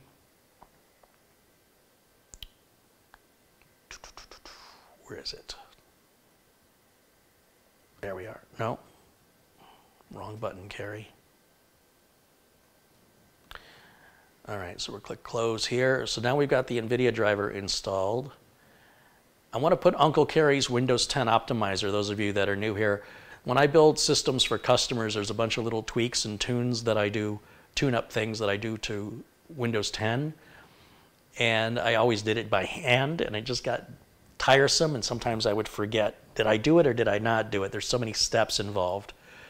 So I asked uh, Nick, who's a programmer over at D7X Tech, if he would write a little application for me to up to automate this process. And I talked to you guys about this thing and I showed it, and many of you said, I want to buy that. Like, I didn't think to myself, I'm going to write an app that I can sell. It just kind of happened. Like, I just need this app to help go through the number of computers I go through with consistency, reliability, and I want to do it faster. And so, this little app, when I run it, you'll see uh, we can go here, we can go to options, we can check for updates to make sure we have the latest version, which we do, 1.3. And everything that has a check in it means this system, like this is an active app. In other words, it, it's not just blind. It's looking and saying, anything that's got a check in it needs to be done, or it's recommended. And you can uncheck items. I'm just going to hit apply. You'll see a bunch of access denied errors here. That's just turning indexing off. That's normal and nothing to be worried about. And then it's going to need a restart for these changes to take effect. And if we try and run the Windows Optimizer again, it'll tell us that there's nothing to be optimized. It, it's intelligent and it knows that we've already, uh, that it checks those settings and verifies that those settings are already set optimally. So if you get a big Windows update, uh, for example, you might want to run the optimizer again. It doesn't hurt you to run it periodically just to make sure that it keeps telling you everything's already optimized. Uh, it sells for 10 bucks. I think it's 10 bucks. And the link for it is in the video notes. There's no key required to activate it. I'm, it's on an honor system. Basically, what I'm saying is if you pay the 10 bucks and you get the app, you can run it as many times as you want on it on any number of computers. Run it on your friends' machines. Run it on your machine. Uh, uh, run it on everybody's machine. I'm just asking you don't give them the software. Let them know they can buy it for 10 bucks so that it can help support the channel. What I don't like doing is like panhandling. That's not what I'm trying to do here. If somebody's giving something to me, I want to give you something back. So by sending the $10 in to support the channel, in exchange, I'm going to give you the Windows 10 optimizer, but you've got to purchase the Windows 10 optimizer, and all of the purchasing and distribution is all handled by D7X 10, uh, D7X Tech. Now, look what happens when I go to run the optimizer now. It's going to check our settings and it'll say your system is already fully optimized. So you don't have to wonder. So if I get a bunch of Windows updates that come in and I wonder if Microsoft has reset some things, just run the optimizer again. And again, all I ask you to do is just don't give it away. I mean, if you do, I can't stop you, but um, you're really not helping me. If you, if you want to see the channel continue to grow, then the best thing you can do is tell your friend, you need to buy your own copy, you need to support this guy. It's only 10 bucks. And it'll run indefinitely. Like as far as I'm concerned, um, as Microsoft updates Windows 10, there will be free updates to the Windows 10 optimizer, uh, certainly for the next two years minimum. and then we'll see what happens beyond that. But in all likelihood, we're, we're myself and the folks at D7X Tech are trying to keep the updates free forever. That's our intent. But we'll see how things go. We don't we can't predict the future, but if things stay the same as what they are, that's our goal. Um, I'm not buying a yacht anytime soon. I don't want you to think I'm getting rich off of this. It's it's not like that at all. But it's a great way that, you know, granted I'm sharing experience and education with you, which has value. I also like the idea that you can get this little application that won't hurt your computer. And uh, it's all stuff you can do by hand, but this just automates it and happens a lot quicker. So the next thing I need is the um, TimeSpy benchmark, which I don't have on here, do I? Do I have TimeSpy? No, I don't. So bear with me for a minute. I'm going to put the TimeSpy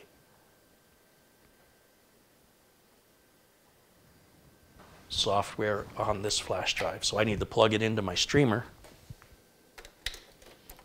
Streamer. Nothing but a streamer. Okay, uh, there was also an update to the Samsung Magician software. It's now at 6.1 and the NVMe driver is now at 3.3. If you're running a Samsung solid state drive, I recommend you have the Samsung Magician installer. And if it's an NVMe drive, that you're using the NVMe Samsung driver and that you're using the latest version, 6.1.0 on Magician and 3.3 on the NVMe driver.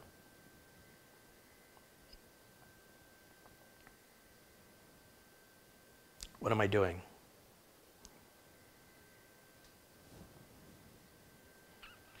Oh.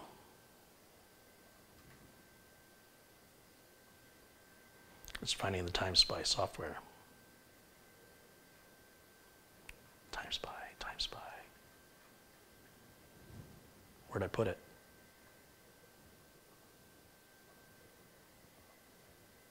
Okay, I got it. So it's a pretty big program. It's about six gigs. And when I install it, there's a couple of updates. And we'll make sure we put all the updates on. And then we're going to execute that and see if it's able to complete without crashing. What I am expecting to happen is I expect the software to appear to work just fine, but stop before it's supposed to with an error message. That's what I think is going to happen. And just to remind you, we've just now installed a clean copy of Windows 10 Home. I've optimized it with Uncle Carey's Windows 10 Optimizer, and I've installed the latest NVIDIA uh, GTX 1660 graphics driver, and I'm not doing anything else other than installing TimeSpy. This system I believe will crash. And the reason it's going to crash is we didn't put on the AMD chipset drivers and that Microsoft does not provide them to you automatically, whereas Intel does. And I believe that's what's going to happen, and I could be completely wrong. I want you to be aware, I very well could have this whole thing assumed incorrectly. And rather than go about giving out false information or information that's based on theory, it takes a few minutes to actually test my theory and then verify factually what's happening here. So, yes, I consistently risk embarrassing myself on live camera because that's life. That's how we learn. If I'm if I know everything and I never make mistakes, um, it's not a real attractive quality people like. People like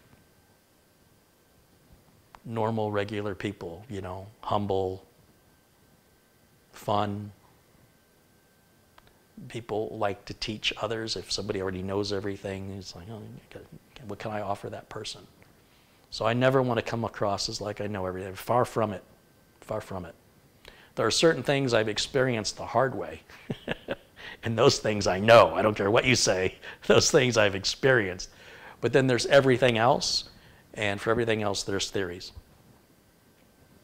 So this is taking a little while to copy, although thankfully I've got that really fast flash drive here. So that six gigs is just now finished copying over. And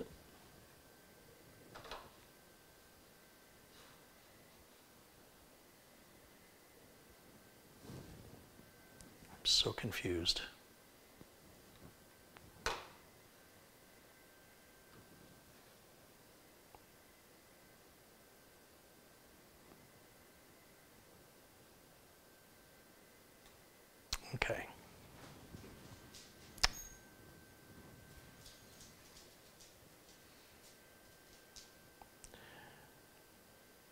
John Wilson's contributed $20. He says, Good evening to all, and have a six pack of Coke on me, Uncle Okay. Oh, that'll get me a case, my friend. Thank you.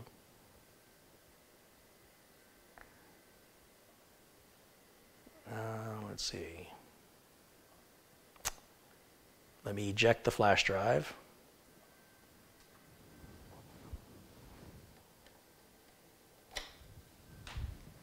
And we'll plug that in over here.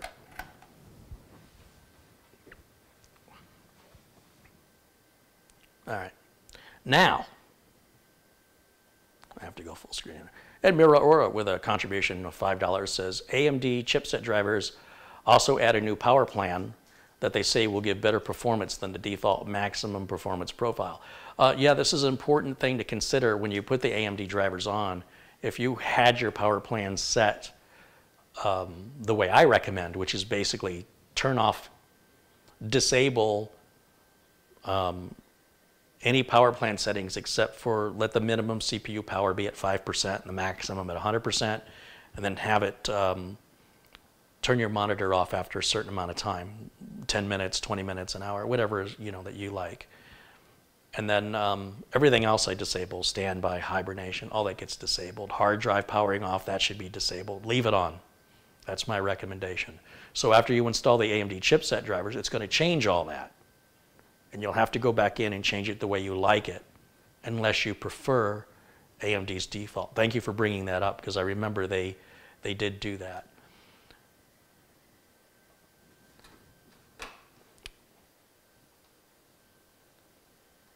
That's bad communication right there. They do do that. What I'm saying, they is AMD, does that means changes the power plan. So what I should have said wasn't they do that. That's too vague. AMD does change the power plan when you install the chipset driver.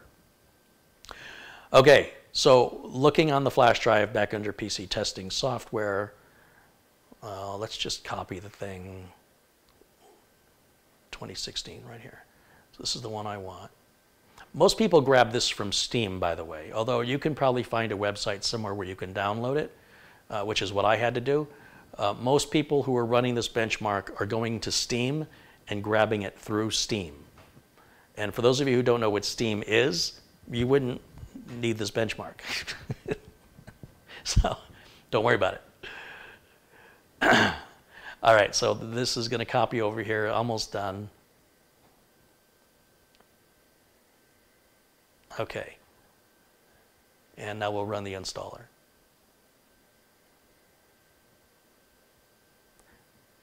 Now this is a pretty intense graphical benchmark, and I think it uses ray tracing on this for those that um, for those graphics cards that support it, which the 1660 does not. Could be wrong on that, but I think it does. It also supports the latest DirectX 12, I think is what it's up to now, and it's backwards compatible. So you can download this for free on Steam and you can run the same benchmark on your system and compare it to the system you see here. You can do everything exactly the way I show it, and you can get a baseline of how your system rates with regards to performance. Not that it matters to anybody but you, but if you're curious and you want to do it, it's completely safe to put on your system. And I would recommend when you're done with it that you uninstall it because it is fairly large.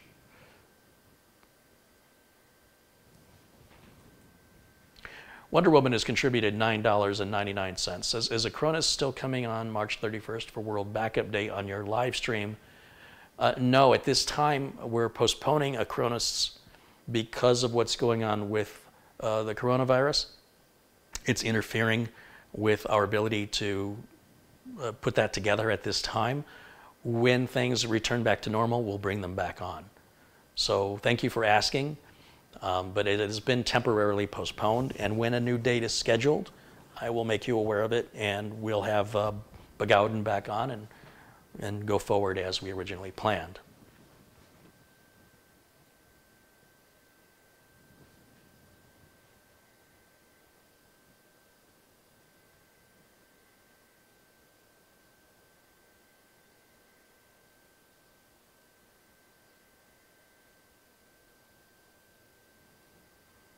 And thank you for the contribution, Wonder Woman. And it's a great question. And I apologize that I uh, apparently forgot to talk about that. I do have, and I'm excited to say, two brand new guests coming on the show to do uh, a Skype interview. Like if you've watched Tech Vets with Mike Smith and myself, how we were side by side on the Skype, we're going to do that with a gentleman who created his own computer business and sold it. And we're going to talk about what that process was like, how he created the business, what were some of the challenges, what advice does he have to others. Uh, and when I say he sold it, I mean he, he made a lot of money. He doesn't have to work anymore. I mean, that's, that's the dream, right? And then there's, uh, not for me though, I like to work, I always want to work. But for most people, that's the dream. And we're going to talk to somebody who's actually done it.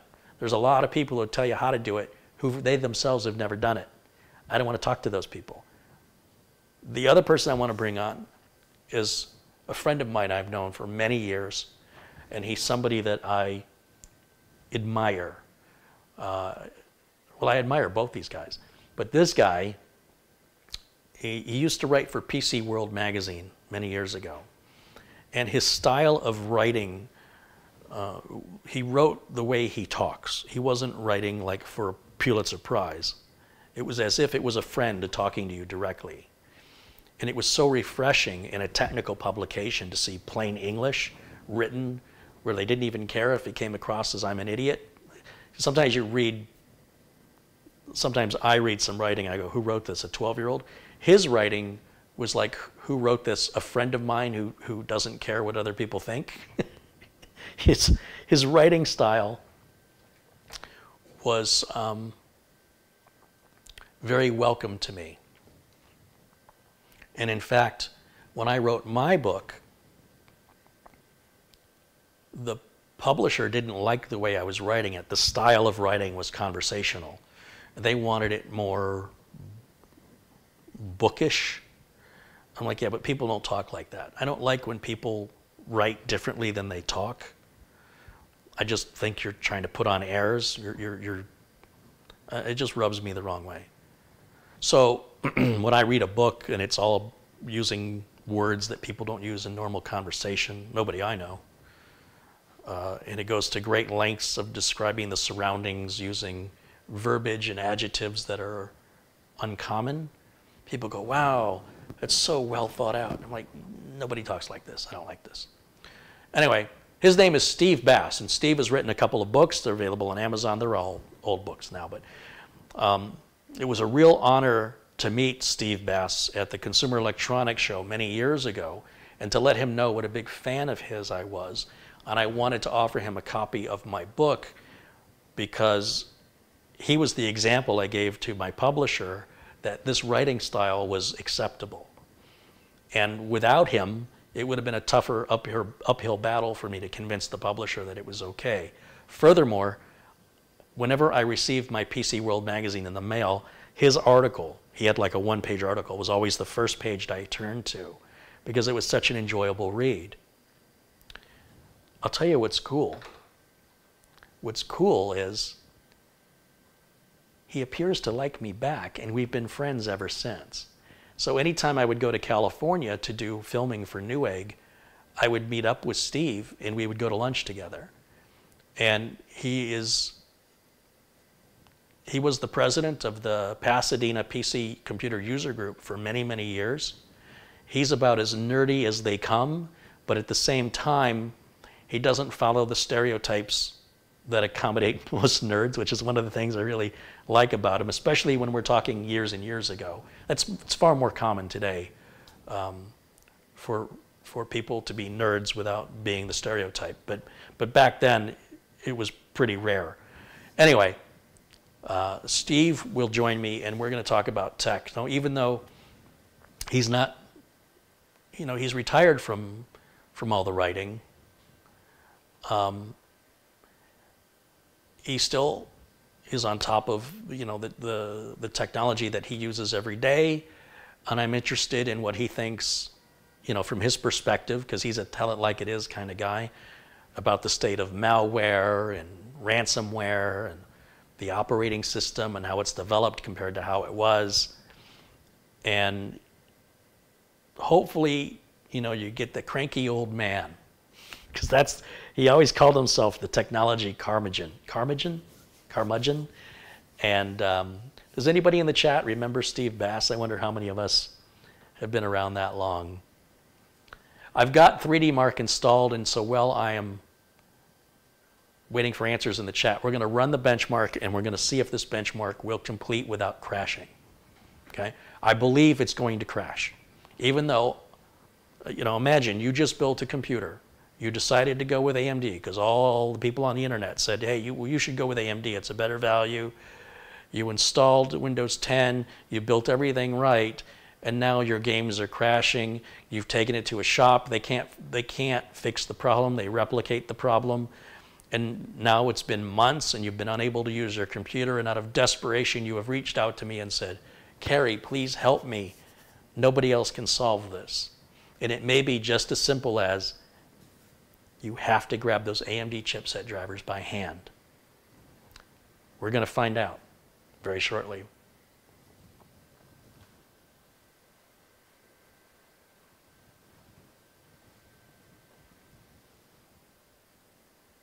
Space Lord says he remembers Steve Bass. Stealth Mode's contributed $5. He says, great community of friends. Agreed, and thank you. We have exactly 1,000 people watching live now. Welcome in, everybody. Paul Lombard says, help me. What help do you need, Paul? We've got lots of friendly people here in the chat. Paul Newman says, we're all nerds here. I wouldn't say that. Um,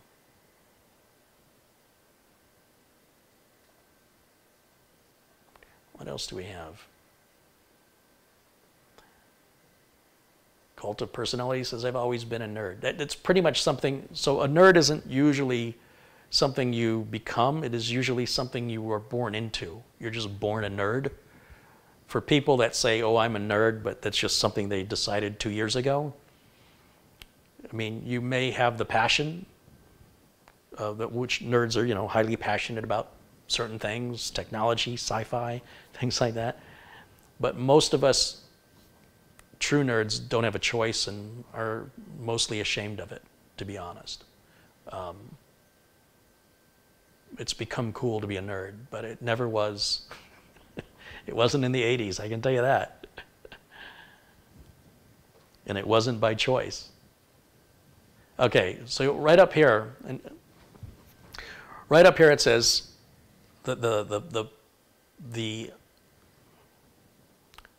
Time Spy application has crashed. You see an error has occurred. Do you see that? You're all with me? So here we imagine you're in the situation. You've built this new computer. And um,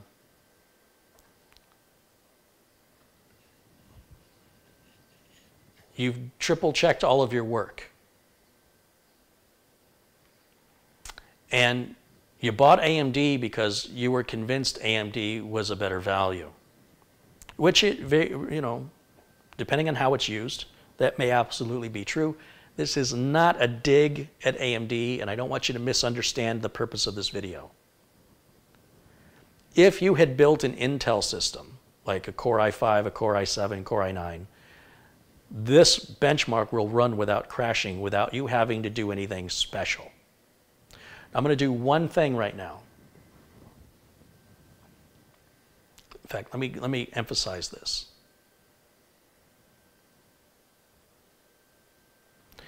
I'm going to do one thing right now, and that is I'm going to download and install the AMD chipset drivers because we do not get them automatically like you do with Intel.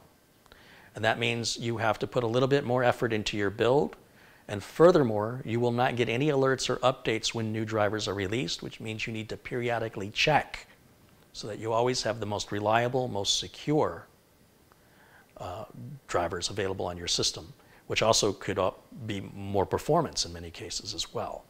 So I'm going to show you how to do that because it's not obvious. And again, this is for people who build their own computers. If you've got a computer built by Dell or HP or one of the big pre-built system manufacturers or a laptop, then you will go to them. They usually, like Dell has their own update utility.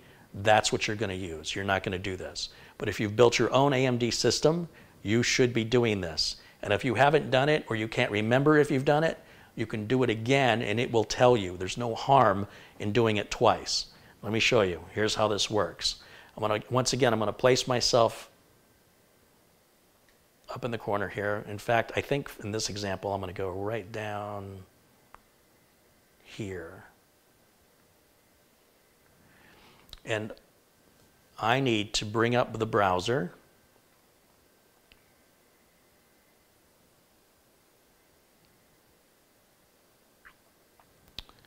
We're going to close the uh, TimeSpy benchmark and bring up whatever browser you want, whatever you use. I'm using uh, Edge or whatever it is. And I'm going to type in AMD chipset drivers. And the first link that appears, and this is Bing, I usually use Google, but right there it's going to www.amd.com forward slash en for English forward slash support. So that's the first link, that's what I want.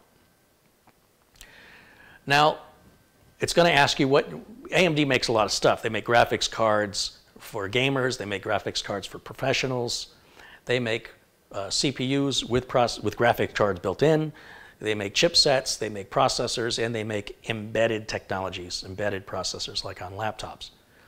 So we're interested in the chipset driver. Now, there's a lot of different chipsets. Do you want um, Threadripper, which is the STRX4 or TR4, or is it Socket AM4, or is it an earlier AMD 9, 8, 7, or 6 series? Now, if you're building a modern computer that's AMD, it'll be a Socket AM4. Then it says, okay, which chipset series? Is it X570, 470, 370, 450, 350, or A320? Regardless of which one of these you choose currently, as of the 27th of March 2020, they all point to the same exact file. All right, so I don't really care what this is. I'll say it's an X570, who cares? Just to prove to you it doesn't matter. And I'm gonna hit submit, and it's gonna point me to the exact same file, which is right here, the Windows 10 64-bit edition. What the older chipsets may offer you is a Windows 7 driver, which you see doesn't exist here, but you shouldn't be running Windows 7 anyway. But they all have the same Windows 10 64-bit edition driver. You'll see it's a 50 megabyte download that was released on the 19th of March 2020, which was just eight days ago. And I'm going to download that. Now, I'm not interested in anything else on this page. Uh, if you want to look through that, you go right ahead. That is off topic for this video. That's all optional stuff. So I'm going to, you can, you can extract this if you want to. It's a zip file, and by double clicking on this zip file, it exposes the files inside. Now, because this is just a single executable file with a manual, if I just double click on the file and just hit run, I don't have to extract it because that itself is a compressed file that when we run it, it's going to extract the contents of that file. Right now, that's what it's doing. And while that's going on, I'm going to close these background windows because we no longer need them open, and it'll help clarify what we're seeing on the screen. Now the AMD software installs a little bit differently than most software. In fact, any other piece of software I've ever seen. What they do is they give you these little green check boxes and show you six different drivers that are part of the chipset package that need to be updated to a newer version than what you have. Uh, if you already have a newer version, then that box should automatically uncheck itself. And then down here at the bottom is the license agreement with a green install button. And it says by clicking install and installing the software, you're agreeing to all the terms and conditions stating in the, in the end user license, blah, blah, blah. So we hit install.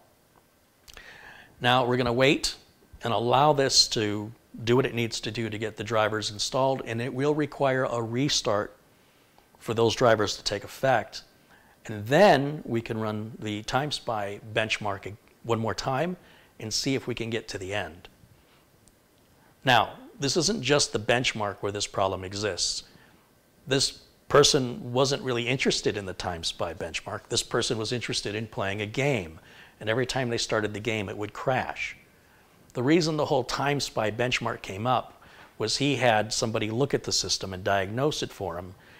And they recommended to me if I wanted to repeat this error, error and I don't have a Steam account, I need to be able to replicate the customer's problem. And he said, well, here's what you do. Uh, just download the TimeSpy demo. It won't run that. He says, I changed all this stuff. It just, there's no way to fix it that I could find. And, and, and I was very helpful for him to email me and provide that information to me. Because then I was able to replicate the problem as I just did and you were witness to. And now that we've re we're rebooting right now, the first thing I'm going to do is run the TimeSpy app. That's the only change I'm making.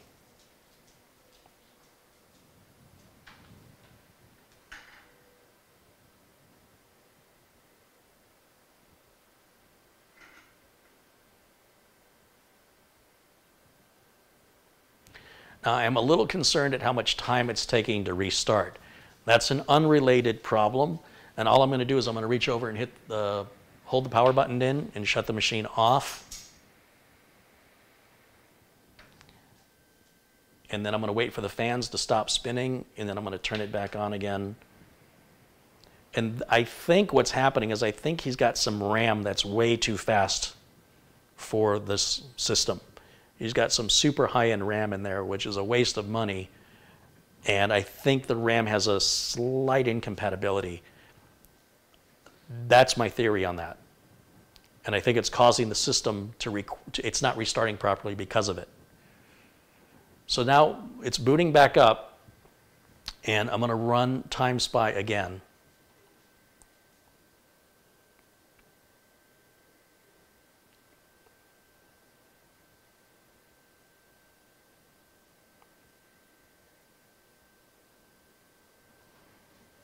Once again, no other changes, as you've witnessed, have been made, to the system. And using Windows Update, it said there were no more updates available. Windows did not provide it to us, the AMD chipset drivers. And yet, ignorance is bliss, right? How many of you have built a system made by uh, and selected an AMD processor and have not installed your AMD chipset drivers? How many of you are, are out there that have done that? So you might be saying, well, I don't have any system problems. I can pretty much guarantee you, you're only getting about 75% of your computer's capable performance. And if you will download this driver and install it that I just showed you, you will most likely see a significant increase in performance on your system. And then you can write to me and say thank you. You can write to me, I don't mean to sound like a jerk, but you can, you can verify that for other viewers by putting a comment below this video after it's live. It'll be available as a regular video. And comment that what the difference was, if you noticed any difference after you installed the AMD chipset drivers. It does seem to be AMD updates the chipset drivers about once every three months, so you don't need to check constantly. And there are web services, perhaps that might work, that monitor websites for changes and can email you when a website changes. So for example, when a new version of a driver comes out, then the website will change to reflect that.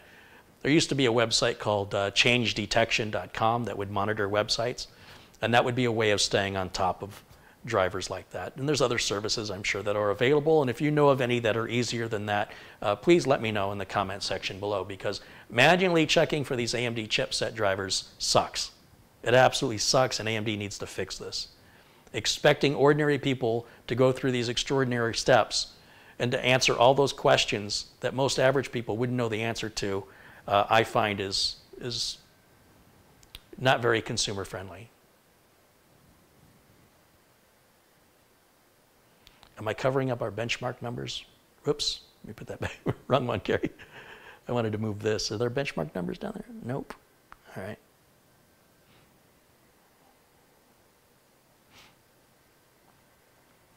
Well, we're letting the benchmark run. It's a beautiful benchmark. Uh, well, that's running. If you guys have any questions for me, uh, this is going to be a few minutes. Zero courses Carey Ryzen Master should automatically update the chipset drivers. The problem with Ryzen Master, uh, when I ran it, it caused my system to crash. When I would put it into like creator mode, it would start crashing uh, blue screening. The other issue with Ryzen Master uh, is it too has to be an application the end user has to know to go and get. So in my opinion, rather than confuse the end user with putting on a piece of software that's as complex as Ryzen Master is, that has the potential side effects that come along with using it, I would rather just tell the user to go and grab the AMD chipset drivers. Now, I do have the Ryzen Master software installed on the streamer, and it has never, never, not once told me that there was an AMD chipset driver update. It's never happened. It's told me when there was a Ryzen Master update, but it's never told me when there was a chipset driver update.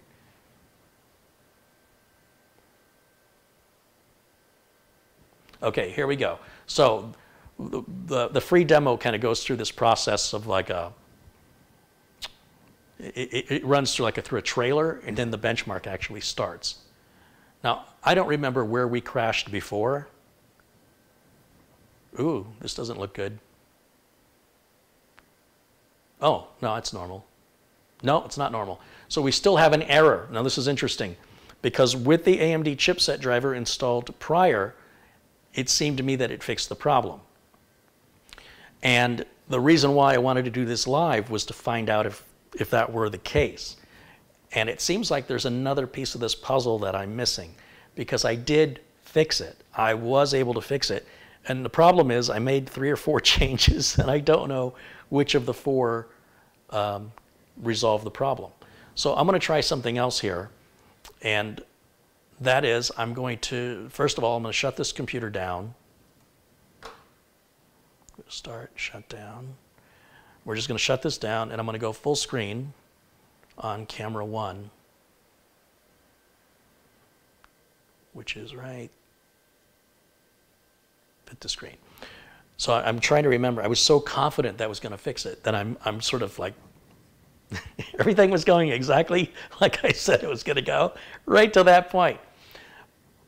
But that doesn't mean those chipset drivers didn't need to be installed. I mean, they're, they're still going to make a big performance difference, and you should have them, and you're not getting them automatically.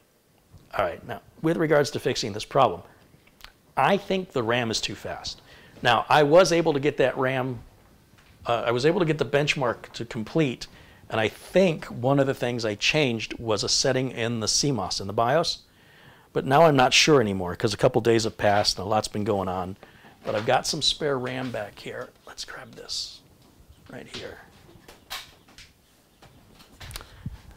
Now, I don't know. I, I've got RAM that's, I got lots of RAM back here, and I'm just going to grab the first thing I grab. I'm not looking for any specific kind of RAM.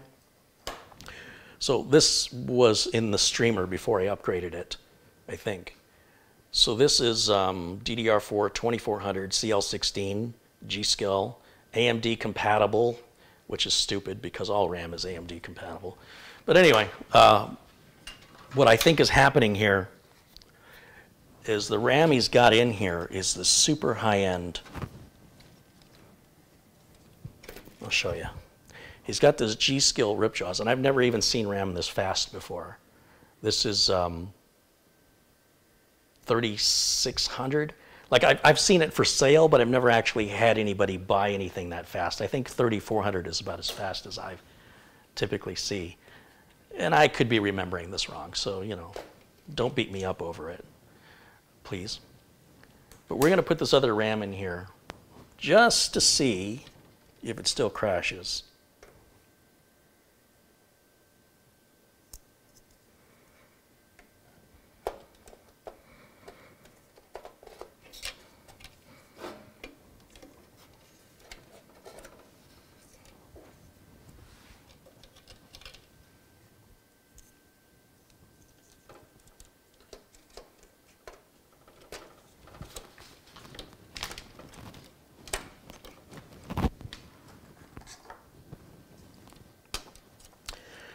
So one way or another, I'm going to make a, I'll have my sister make a quick tips video out of this, but we're going to have to change the, um, the agenda since it didn't end result in what I expected.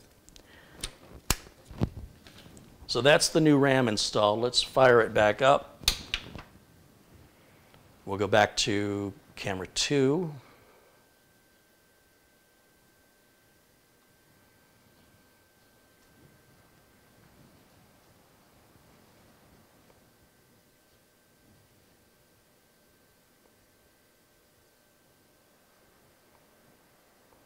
I'm just, I'd have to go back at the, and, and look at the video again to see. Um,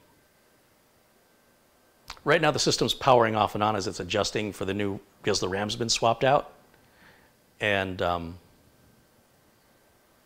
be patient when you, if you do that, if you change RAM out on a system, uh, you might be concerned it's not powering on right away. Yeah, give it a full minute and it may cycle off and on a couple of times, uh, which may very well be normal. So just be patient and uh, give it a chance to self-adjust. And it should eventually figure it out, which it just did, and readjust the memory timings in the RAM. So we don't have to go in the BIOS and change anything. This all happens automatically if you're patient. Then Windows is going to load um, Photo Mix Media. Why are you not a moderator? Does Linda need help with editing? Yeah, of course. Linda's buried in edits buried. But unfortunately, unless you talk to me, you won't necessarily know what I want edited or how I want it edited. Um, a lot of times people that offer to do editing for me, all they're doing is they're just cutting out content and they're just stitching it all together. There needs to be transitions. Sometimes need, you need to grab a screenshot or some, if I'm referring to something you might have to capture, you know, on your own computer. If I'm talking about a flash drive, you can you know, cut away to a picture of Amazon where that flash drive is for sale. And the editing is more than just cuts. Uh, but anyway, if you're interested in it uh, and, and you do good work, i have got work for you. It's not fun. I don't know how anybody enjoys that. Um, let's go back to uh, Time Pilot one more time now. I've changed the RAM.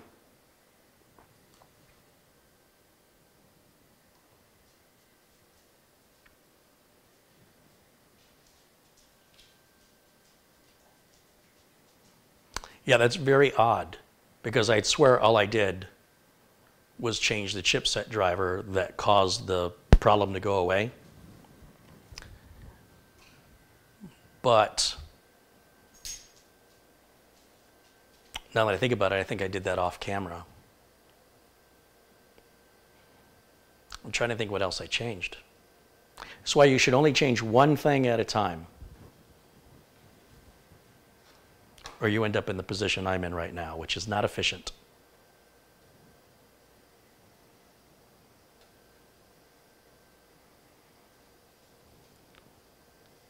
One cave per says, oh no, it's conundrum. He says it could be both. It could be the fact of the RAM and the AMD chipset driver. Um, maybe. Maybe. Here's what I know. Here's what I know for sure your AMD system will run without the AMD chipset driver. And I know you're not getting the full chipset driver package from Windows Update. So if you have an AMD system, you should go to the AMD support site and download and install that chipset driver. That much I can tell you is a fact. And for many of you who've never done that before, you will likely see an increase in performance. It's very likely. At the worst, you should notice no difference whatsoever. But it shouldn't cause you any problem. And it's intended to be installed, but it's not happening automatically, so it won't happen unless you do it.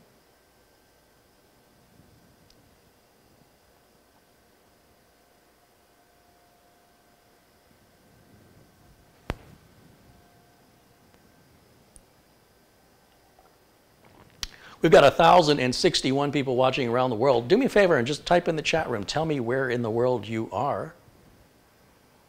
And uh, I, I love the idea as a kid, as a teenager in the 1980s, the thought that I can be socially awkward in real life, but completely comfortable on camera and talk to a worldwide audience. Plays with my head a little bit. So I always love to see where people are watching me from. So let's see here. And they're coming in. Here we go. We've got Travis in Minnesota. Sharon joins us from the UK, of course, Sharon Idle. Mark Baggett in Massachusetts. Dave, John Davidson is in Northeast Thailand. John uh, was a, a, big contributor to Thready. And of course, John, if you, I don't know if you've been tuning in lately, but Thready is now the main video editor that my sister uses, and she loves it. Like, I hate Thready. I don't like Thready. My sister's like, you better not want Thready back because I it's like love. She loves Thready. so, Thready found love. Oystein joins us from Norway. Thomas is also in Norway. And uh, Vil Belkinen joins us from Finland. That's a country I hope to visit one day and go to the Assembly Conference in Helsinki. And let's see, we've got Macedonia and Bar Israel Lewis is in Barbados, Sean Morris in Ireland, Mark Sims in the UK, John Young in Kansas. Isarian Art is in Missouri, James Hook is in Virginia, Chris P is in the UK South End. Carbor, Carborundrum is in Switzerland. Div, Divan is in UK. Will L is in France. W85 is in Western Australia. Andrea Z is in Sweden. Gerard Huff is in Germany. Carl Norman is in the UK. Andrew joins us from Auckland, New Zealand. Jay Tony in Alabama. Daniel Sprouse in Pennsylvania. Let's see, we also got Belgium, North Carolina, Czech Republic, Kettering, Ohio, Belgium, the UK, Minnesota, Hungary in Europe. David Gilman's contributed $10. Thank you, David. Oris, Jeffrey the Great joins us from the Netherlands. Robert Halter in Toronto, Canada. Kwamrul Faruqi is in Sterling Heights, Michigan. I used to have a friend who lived in Sterling Heights. They had an in-ground swimming pool, which was pretty fancy in Michigan in the 1970s. I mean, most people in Michigan, if you had a pool, it was an above ground pool. They had an in ground swimming pool. Of course, now I live in Arizona where practically every home has an in ground swimming pool. And I hate pools, sick of them. Where's Mitch going? Carey, uh, you know, there's somebody else joining us from Pennsylvania. Oh, thank you, Mitch. I have to pretend like Mitch is here, getting me back on track. Scott Tro joins us from Pennsylvania. Music for All is joining me from the Netherlands. He says it's 2 a.m. right now. It is nearly 6 p.m. here in Phoenix. Shanaba joins us from Dubai and Andy in Massachusetts. Cop Watch Transparency in Virginia has contributed $10. Thank you so much. Uh, Lee is in the UK and Joseph is in the UK. Acid Drops is in New York City and Tony Wallow joins us from California.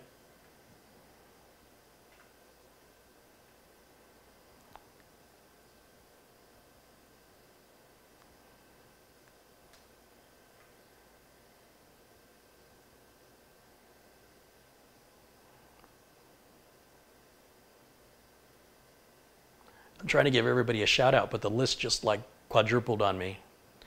Kenny's in Louisiana. John Paul Bacon is in Washington. Super Marula is in Ypsilanti, Michigan. Wonder Woman joins us from Maywood, New Jersey. We also have Spencerport, New York, New Zealand, more from Michigan, Louisiana, Montana, San Diego.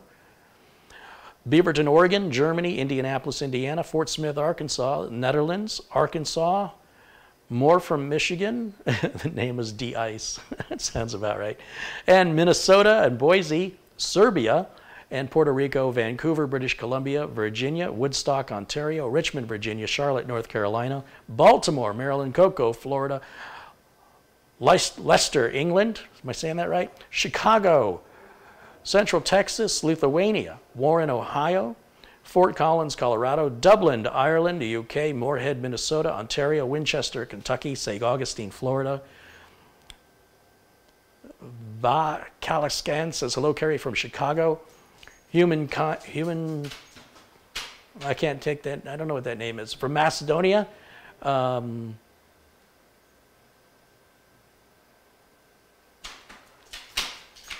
Birmingham, Alabama, Ontario, Canada, Cadillac, Michigan, Beebe, Arkansas, New Hampshire, Kingston, Ontario, Croatia, Winnipeg, Canada, North Carolina, New York City, Estill Springs, Tennessee, Texas. Robin Taha says, Ubon Ratchathani, Thailand, just bought RoboForm five years. Thanks for the discount. Oh, I'm sure I am completely mispronouncing any names in Thailand. I apologize for that. Gabriel joins us from Costa Rica. Frederick's in Waukesha, Wisconsin. And uh, Ray is in Oregon City. Mohammed Kaboka is in North Africa. Tyler Wood joins us from Idaho with the real BJOD in Fredericton in um, NB Canada. NB. What is NB? New Brunswick. And then there's um, Scarsdale, New York, Bell, Bellefonte, Pennsylvania, Barrow and Furness in the United Kingdom. John Burt joins us from Scotland, and, and we also have viewers from Greece, the UK, Ohio, Melbourne, Australia, Madison, Wisconsin, Berlin, Germany, Amsterdam, Rainbow City, Alabama, New York City, Charlotte, North Carolina, more from Michigan, more from Philadelphia, more from Canada, Ishpeming, Michigan, and you pronounce it correctly, Carey. Did I? Slovenia, Cleveland, Ohio, South London, El Monte, California, Hungary, Wisconsin, Texas, Oregon, Dorset, UK in isolation, says Taffy. Uh, Italy, the UK, Warren, Ohio, New Zealand. W85 contributes 10 Australian dollars and says he's from Perth in Western Australia. Michael James joins us from Belfast, and Richard Lewis in Vancouver. Eric Wilson from Dunn in North Carolina. Chris Ireland in Liverpool in the UK. Donald Strickland says hello from Fripp Island, South Carolina.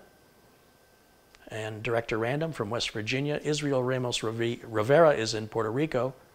DK Lucas joins us from Birmingham, Alabama. Michael Dane joins us from Ohio. Terry McGill is from Melbourne, Australia. Terry Zanders in Indiana. Edwin Ojeda is in Sullivan, Missouri. David Gilman in Virginia. Michael Spangard is in Denmark. Vern Mahorny in, remember we went through this, Olathe, Olathe, is that right? Olathe, Kansas? Olathe? I can't remember that. I have, I have a really hard time with that one. Just keep beating me up over it though. Seriously, I'll remember. Time Spy benchmark is awesome. And it finished. Look at that. I bought enough time. But I'm not done with the list yet. Peter Moore joins us from Sheffield in South Yorkshire in the UK. And Zero Core joins us from Montana. Robert Holzman says he's in Ferndale, Michigan. Well, that sounds a little too coincidental to not be a relative, given that I'm from Oak Park, Michigan, which is right next door. And that's where the Holzmans once were, congregated in that area. So I wonder if Robert is a relative. Chris joins us from San Jose, California. Rick is in the Netherlands.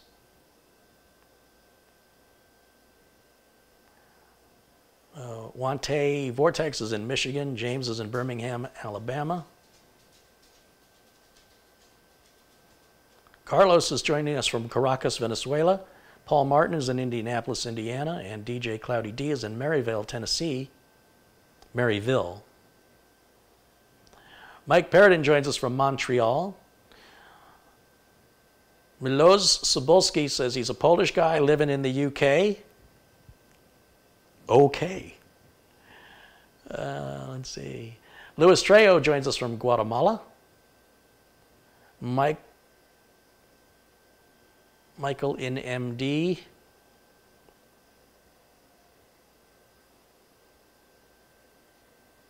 Every once in a while, this the the um, chat screen uh, flips on me, and I lose my place, and now I have to scroll through and try and find it again.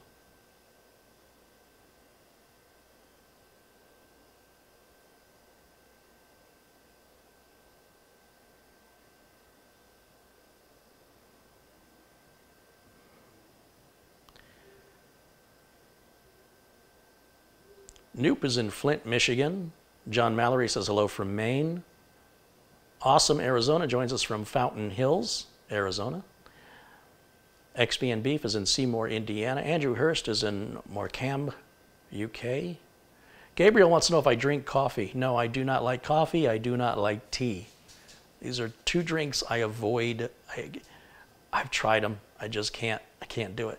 Coffee smells fantastic, but it tastes terrible.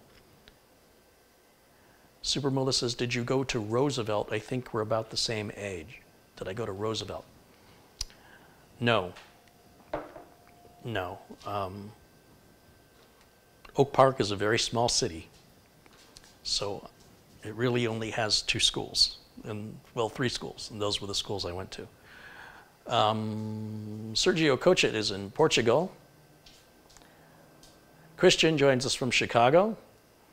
Maple Bob says, a few guys from Montreal in here. Oh, he's apparently from Montreal, it appears.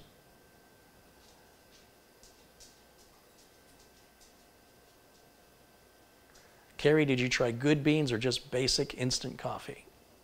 Well, let's be clear. Finding basic instant coffee these days is very difficult.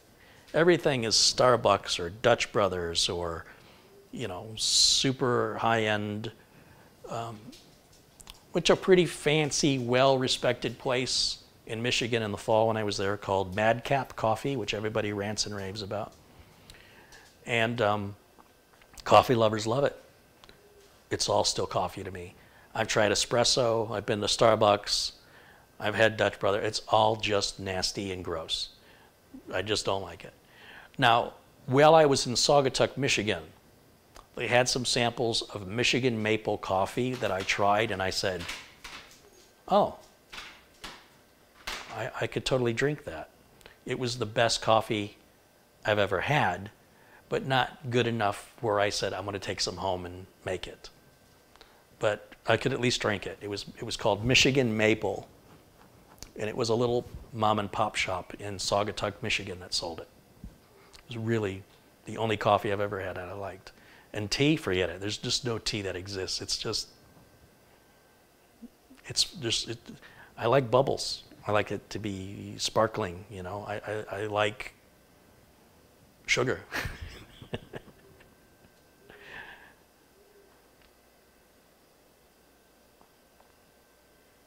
ARS Jeffrey wants to know if we can see the dogs. Well, yeah, there something's going on outside. The dogs are going in and out, but when they settle down, well, I'm sure they'd love to say hello to you guys. So I'm going to try one more thing. So TimeSpy ran without any problem with the change of the RAM. So I'm just really curious now because I can't let this go.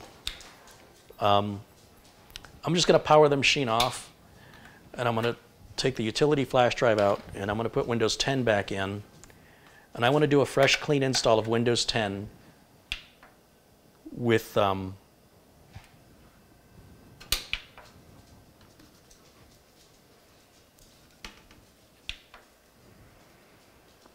with no updates. And I want to see what happens. Because it's going to download updates in the background automatically, but between then and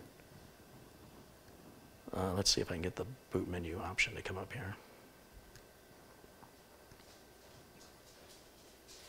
Yeah, that's what I want. Right there. Okay. And it's, oh, it's about nearly quitting time here. So we're going to just do this one last test and then we'll wrap it up the boys are getting ready for their dinner. Let me go through this process one more time. So we're just going to hit next, we're going to hit install, and then we're going to go to, we're going to erase all those partitions on the drive again and do a clean install and just put on the uh, TimeSpy benchmark and see what happens. So we're back to Windows 10 Home, and user license agreement should come up. Then it's going to ask if I want to do a regular install or custom. I always choose custom. Then I delete each of these partitions.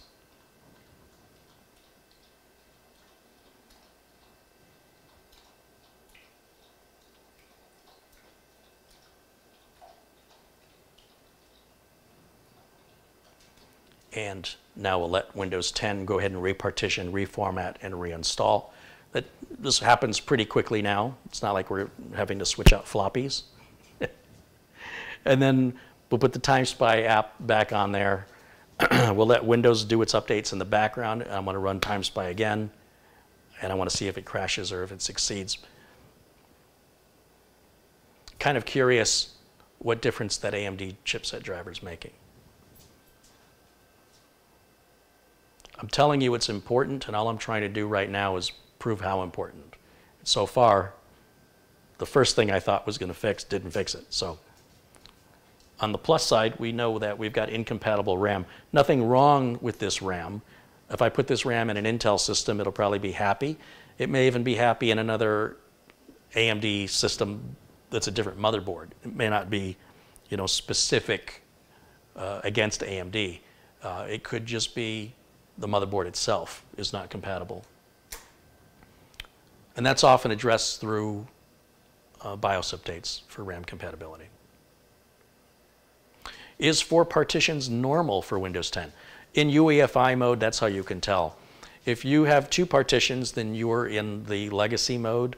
And if you have four partitions, you're in UEFI mode. So that only happens during install. You cannot, if you switch your BIOS into UEFI mode, you're not truly in UEFI without reinstalling Windows again. So just so you know, if you're in the legacy mode with two partitions and you want to be in UEFI, you'll have to do a wipe and a reinstall. Robert Rakovic has contributed $10. Thank you, Robert. Make sure Robert's a moderator in here.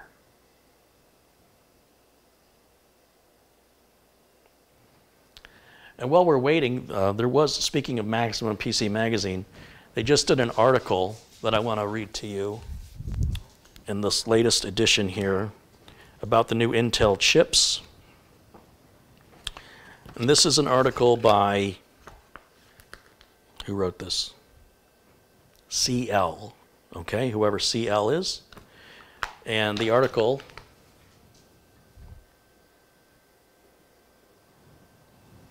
right here is about the new Intel chips. So while we're waiting for this to work behind us, we'll let that run. So just when you thought Intel couldn't push its aging 14 nanometer Skylake microarchitecture any further, it does it again. AMD's speedy Zen chips have left Intel little choice but to respond. The slow development of its 10 nanometer Sunny Cove parts means, once again, it's down to Old Faithful to fill the gap, now in its fourth refinement. Luckily, Skylake has proved its worth, and Intel's getting good at squeezing every drop out of it. Not that there's much juice left, each iteration gains over the last by a lesser degree. Comet Lake first appeared last year, disappointing us by only being low power U series chips. Now we get the full on S desktop and H laptop versions. Exact specs haven't been officially announced, but they are engineering and qualifying samples about, along with enough slides and leaks to piece things together. There will be a full range of parts, essentially replacing the existing 9th gen chips with 10 gen, 10th generation parts from the i3 10100 upward.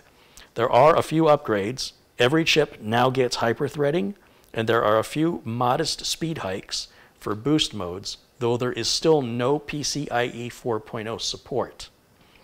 At the top of the tree will be the Core i9 10900K with 10 cores and a base clock of 3.7 gigahertz, 20 megabytes of cache, and a maximum boost clock of 5.3 gigahertz. Now, this speed is thanks to Intel's thermal velocity boost, which makes use of every bit of the thermal envelope you have.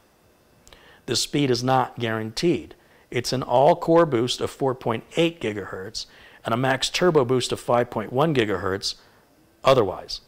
And that makes the i9 10900 6% faster under ideal conditions and with two more cores over the current speed champion the 5 gigahertz i9 9900K.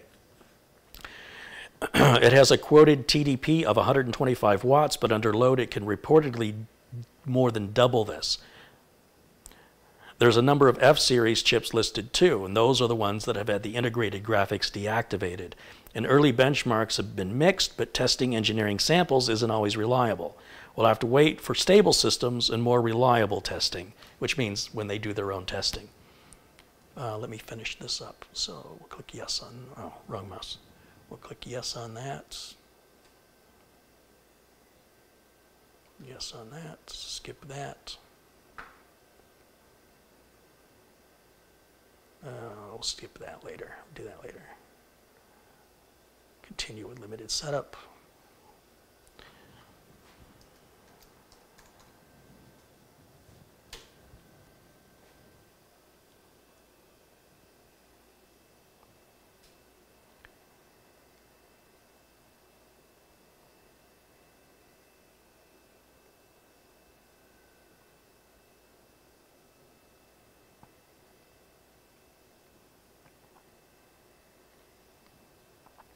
All right, where was I? Now, you're not going to be slotting these 10th generation Intel chips into your current rig. There's a new socket standard. It's LGA 1200 with an extra 49 pins for power and I.O. More cores require more pins. Right now we're on socket 1151. This will now be socket 1200. A new socket also means a new motherboard chipset. In this case, a 400 series chipset, the Z490 the B460 or the H470. These are all ready to roll. The motherboard manufacturers have been waiting for the processors. Apparently, the bulk of the Comet Lake, Comet Lake range has been ready for a while, but getting the fastest Halo version running smoothly has delayed things. It's the star performer that makes the headlines, so we've all had to wait. One easy way to be competitive is to be cheaper. Leaked price lists show Intel is sticking pretty much to its existing structure. The 10th generation parts will cost the same as the equivalent 9th generation parts. Some pundits say that Intel is planning a round of reductions, but we've heard that before and nothing transpired. It's unlikely that there'll be much change. Supply is tight, and if you're selling everything you make, there's little incentive to sell it for less. Intel will cut prices when the heat is on. It recently took a chainsaw to a lot of its server and X series parts, thanks largely to Threadripper's growing market share, but it takes more than market pressure uh, than there is in the desktop sector for that yet. So expect the 10 core beast to be expensive.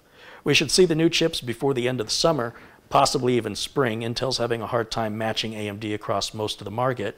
But however fast Ryzen gets, Intel manages to make a chip that can, right at the limit, be faster. For many, that's all the reason they need. Reaching 5.3 gigahertz is probably pushing the design about as far as it can go, requiring trickery with boosts and quite probably liberties with binning and cooling. Intel will probably still make the fastest gaming chip, but on its back foot is just about every other metric. Intel's chip generations are clearly marketing fluff. This Comet Lake range looks suspiciously like a slightly overclocked set of 9th gen chips. It's better than nothing though, and that 5.3 gigahertz figure will grab the headlines. So I thought that was a, a really good article, and I wanted to share it with you guys on the newest uh, news from Intel. I still don't like that white taskbar. It really bothers me.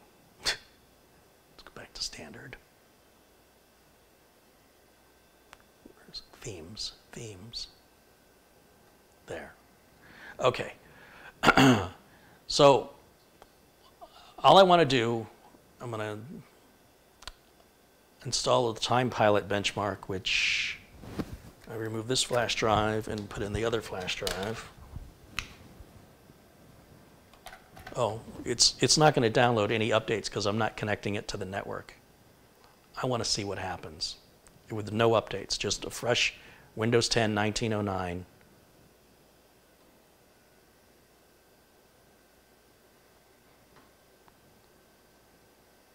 And let's grab uh, Time Spy.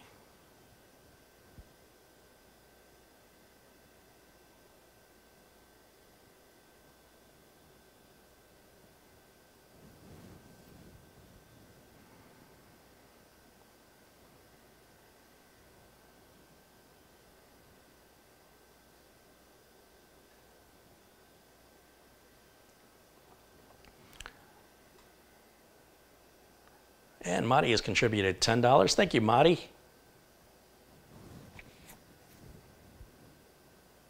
You know, I'm not going to be able to get the updates to TimeSpy either without the internet connection. But now I'm just curious. Now I want to see what happens if we just run it without any updates at all.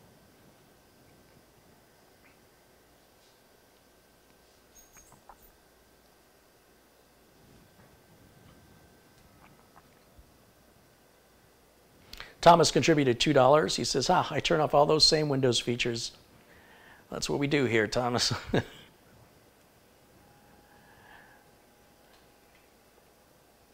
The Reverend John O'Toole contributed $5. He says, I'm in the high risk club, but being a nerd, this isolation is no big deal, right? That's what I'm talking about. We're already self isolating. It's what we've been doing our whole lives. Have you ever tried one of those cold coffees with ice cream? There's nothing more disgusting than cold coffee. Like when people do cold brew, like it's it's at least tolerable if it's hot, but if it's cold, it's just nasty. No, I'll tell you what, you can you can have all the cold coffee. You can keep all that. I, I won't try and take any of it. You do not have to share it with me.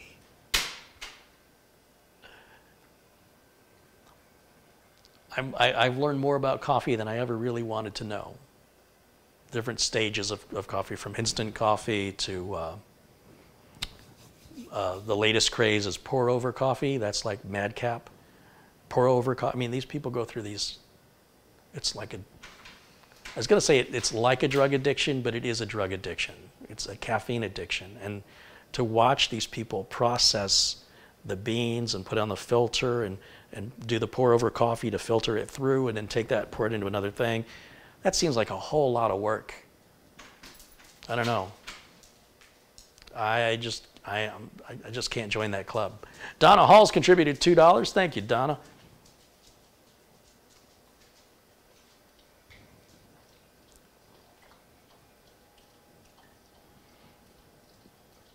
MD White J says, thanks, Carey. Just updated my AMD chipset Aorus B450M. Love your channel. Right on.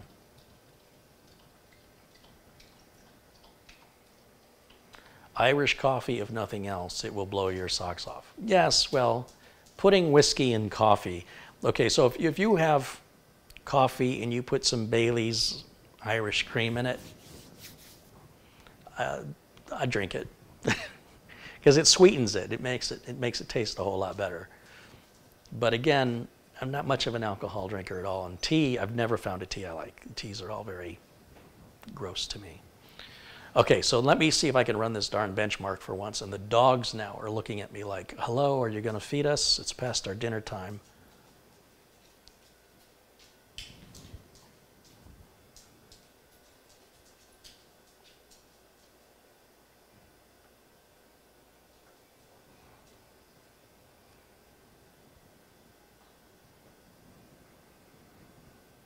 Robbie wants to know, is there any truth to Windows providing a free operating system platform future-wise? Uh, nobody will say. Uh, industry secrets are just that. There's lots of speculation. And nobody can tell you if anything, oh, this is interesting. It's not going to let me run.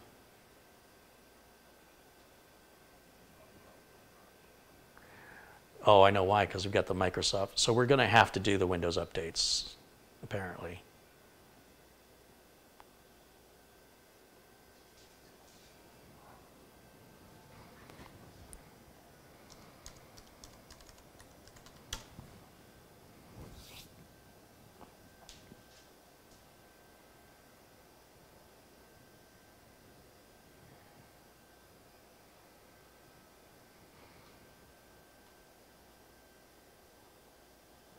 Right, so once again, I'm going to do the updates, but no AMD chipset driver. I'm just going to get what I get from, from Microsoft.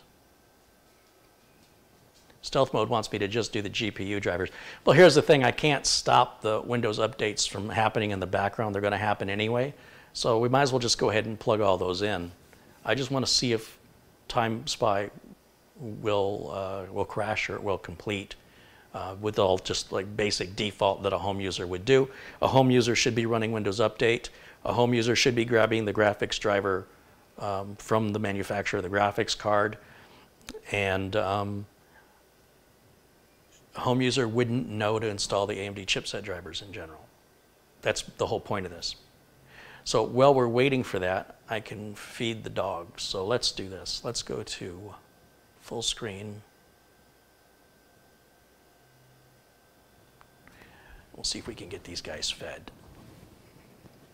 Come here, boys. Come here. Are you hungry? Are you hungry? Is it time? Is it time for dinner? Come here, Jimmy. There's a good boy. Lyle, come over here. Oh, you're so big boy. And Lyle's just standing by the food bowl. Are you ready for some food? Are you hungry? All right. There's dinner.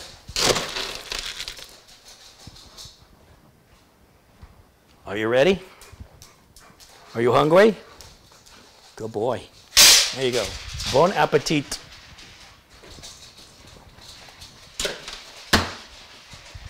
All right, we'll revisit them in a minute.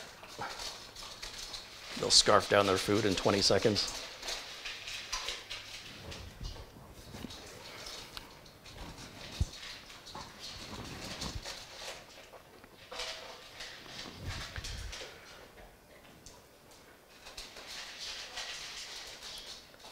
How are we doing there? Retry.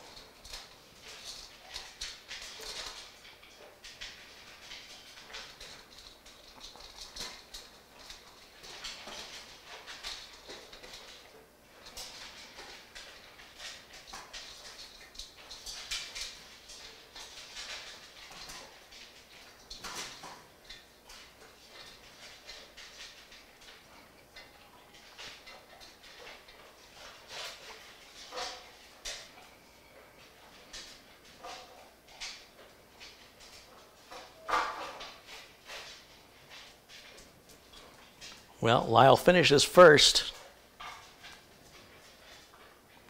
So we'll let that keep updating, and while that's happening, we'll switch back over to, uh, we'll go back to camera one here for a moment.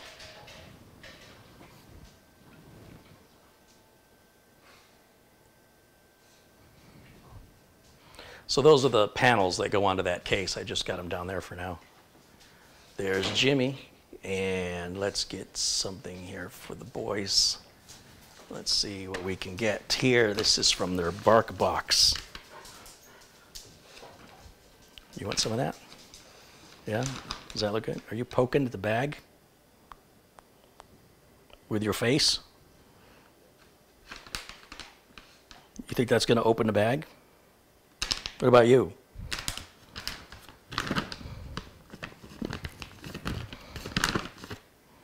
Nope, there's two stuck together. You got to leave my fingers this time.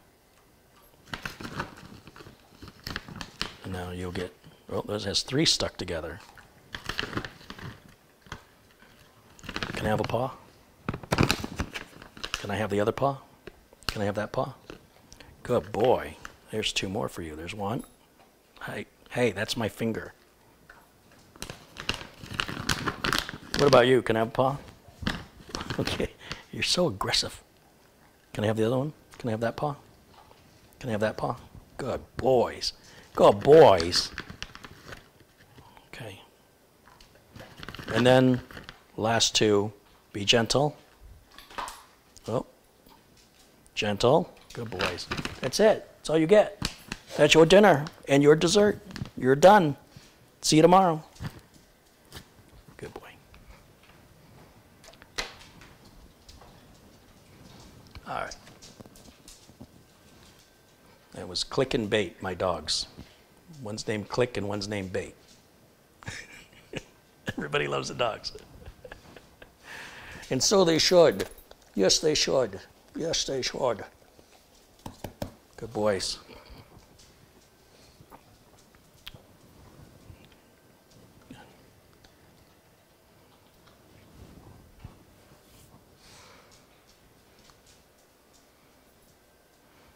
And he's still looking for more attention. Let's take advantage of that. What do you want? Come here. You want some lovin's? Oh, don't touch me. Come here. You're a brat. Come here, brat. You're like a cat. You're like, uh, I'll let you pet me when I feel like it. Give me your side eye. Are you giving me side eye? Oh, I want to get you. Oh, my, got you. I'm touching you. You got human touch all over you. I'm going to mess up your hair. It's all messed up now. I messed it up. Just straighten it back out.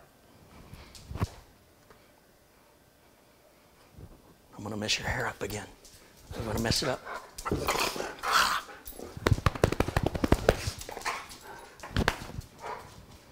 Come here. Oh, you, Jimmy, want some lovin's? Scrub it, scrub the butt, scrub the butt. All right. there you go, guys. That's your overdose of the dogs today there. Okay. How are we? Wow. That was Lyle. You feel better? okay. And we're still downloading here. What's going on? Yeah, it's still installing. We'll check back on that in a minute. The dog is like social distancing. I think you're right.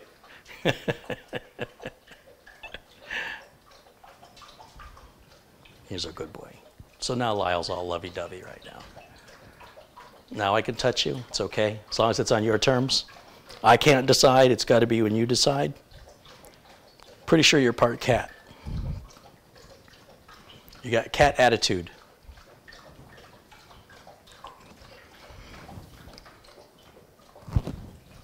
You just decide you want to come over here? Hmm? This skin. Look at his skin. You got your regular ear and your folded ear. And your brother, Jimmy Jimmy, got your face. I got your face. I got it. Oh. Be a mutt. There, do your mutt impression. There, now he's a mutt. Okay, now be a Doberman. Now he's Doberman. Now be a Shar Pei. Sharpei. Screwball. Screwball. All right.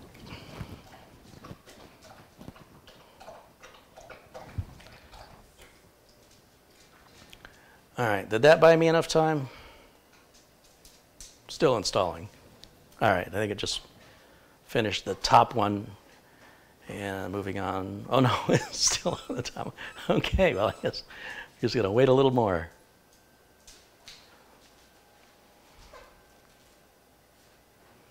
Are you sure he's not part Chow? Yes, he is part Chow. Richard Angeline's contributed $2. Thank you, Richard.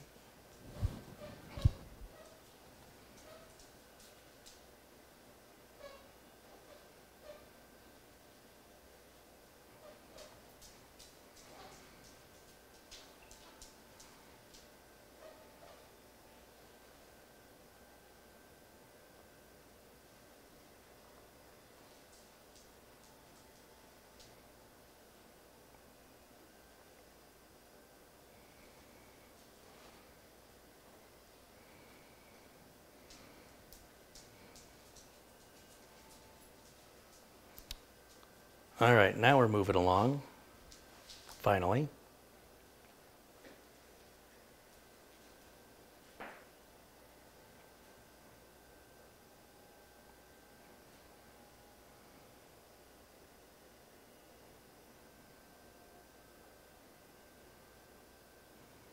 Should have, uh, was that one last one there?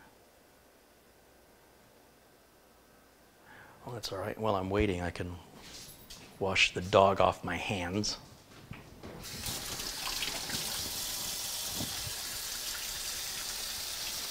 Twenty seconds, Lyle.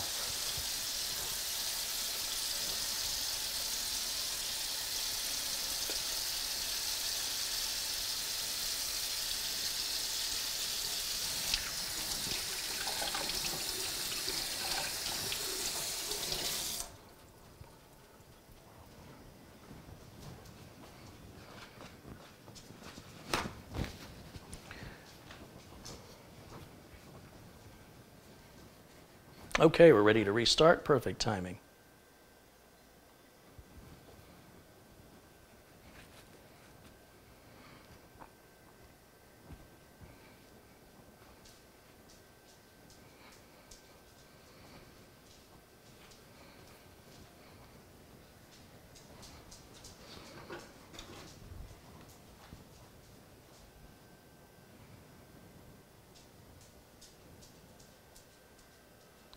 So we're just going to wait for Windows to restart. We'll hit Windows Update one more time and uh, get the NVIDIA driver installed and then run TimeSpy and see if it'll complete.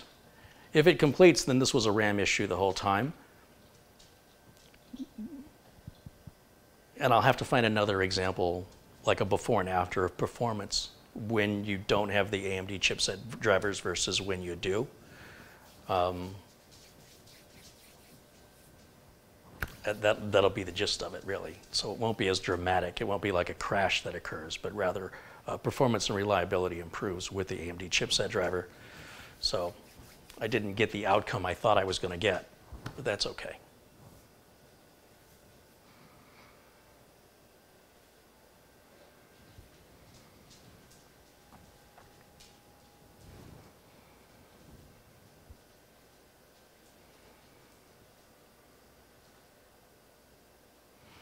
Eduardo Turan has contributed 50 Mexican pesos, says, I always updated the ATI chipset drivers from the AMD website on my old Athlon 64 X2 and my Phenom 2 X4 960T PCs, Catalyst and Overdrive overclock stuff. Yeah, I am back in the day. But Windows 10 does such a good job of providing everything you need. I'm just shocked that we're not getting the full uh, AMD chipset drivers. But we do see some drivers coming in from Windows Update, from AMD. So maybe that's changed. I'm not exactly sure. But clearly the driver that AMD offers is newer than what we're getting from, from uh, Microsoft. But at least we're getting something. So I'm going to go back to Windows Update one more time. We're going to check and make sure we've got everything.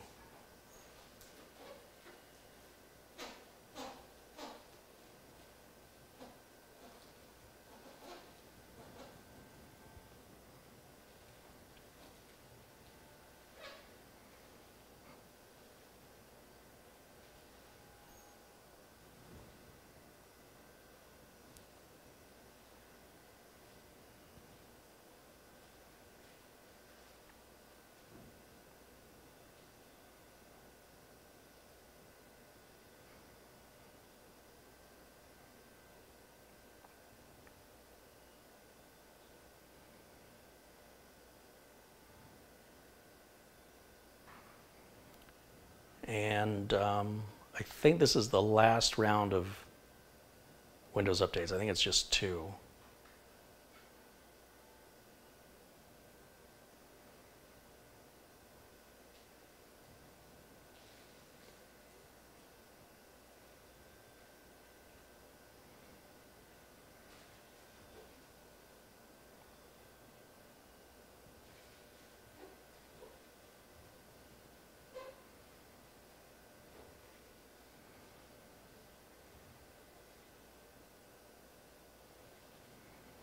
John says, Carey, my wife's laptop is a Dell with AMD. Should I check chipset drivers or does Dell do that? So yeah, um, I'm going to say it for the third time. If you built your own computer, then you're going to want to grab these drivers by hand. If your computer is pre-built, whether it's a laptop or a desktop, if it's made by a third party like Dell or HP, for example, then you will go to them for all of your driver updates. Dell like I mentioned on my Dell XPS 15 laptop, there is a Dell Update utility in the Start menu, and that's what I would recommend that you use. I don't know that all Dell computers have that, you know, depending on the age of it. So in a worst case scenario, you could always go to support.dell.com and put the tag ID, which is on the back of the computer or the laptop, put the tag number in there, and it will pull up all the drivers related to the specific machine that you have. And then, of course, uh, you can compare what you have with what's available. And sometimes it's obvious by looking at the date uh, of the driver.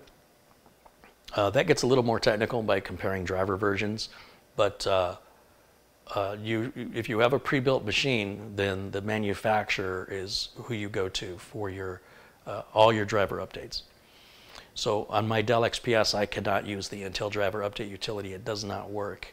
It'll tell me, for example, there may be a new Intel video driver for the built-in graphics in the CPU, but then it won't install it. It'll fail the install. When Dell provides it through Dell Update, it works every time. but Dell's version is different than Intel's version, and it'll always be that way. So it's hard to know, you know, how far behind you might be, but you don't have a choice. It is what it is. But you can at least keep it up to date with what the manufacturer offers. Uh, it doesn't generally happen automatically. On newer systems, it's, they're starting to build that in now. Like I say, with the XPS 15, uh, that utility will eventually have popped up and told me there were updates. Um, I have no doubt it would have done that. I just checked it manually and forced it, and there was like eight or nine uh, since last time I turned it on, which was probably six weeks ago. So there were already that many updates in six weeks' time, including a BIOS update, which it just handled all of it automatically.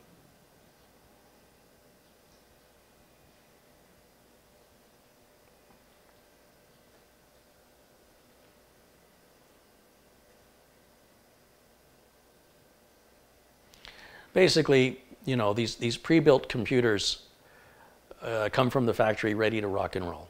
Uh, the drivers might be out of date though, but the drivers are there. When you build it yourself, it's up to you to make sure you put all the right drivers in. So that's all. That's all this really is about. Um, I would very much like to be able to, to rely on Windows Update to provide all the necessary drivers. And in fact, you know, now looking at Windows Update and seeing those AMD system drivers in the list now, uh, maybe that's starting to happen now. And, and I'd be delighted if that's the case. So once we're done with these updates, we'll run the time spy. Uh, well, I got to download the NVIDIA driver, and then we'll run time spy one more time and see if it completes without crashing, without me installing the AMD drivers manually. And then that's going to wrap it up for the stream today. In the meantime, if anybody has any questions while we're waiting for this to complete, I'd be happy to answer any technical questions you've got. I'll do my best to provide an answer for you. If you've already asked and I haven't seen your question, please ask it again. The chat can move by pretty quickly and I'm easily distracted, so I may have missed your question and that may be why you didn't get a response. Also, there are lots of knowledgeable people in the chat who can also answer your question besides me.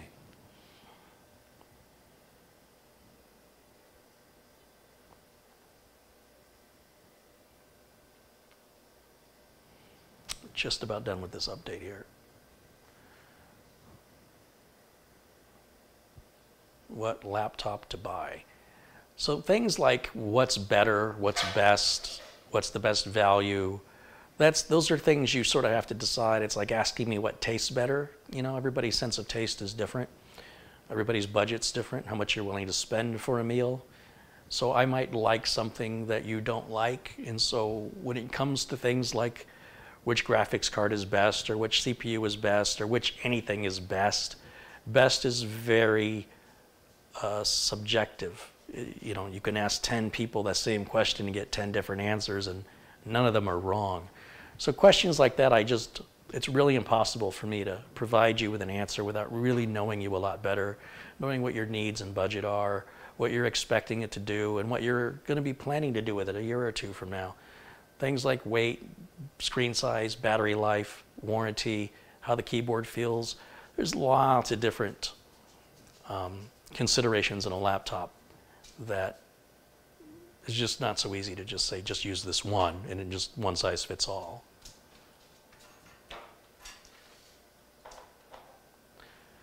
What capture card do I use and what camera? The capture card I'm using is a Magewell 4-port, uh, 4 HDMI input $900 capture card. The cameras are Canon A um, XF400 cameras.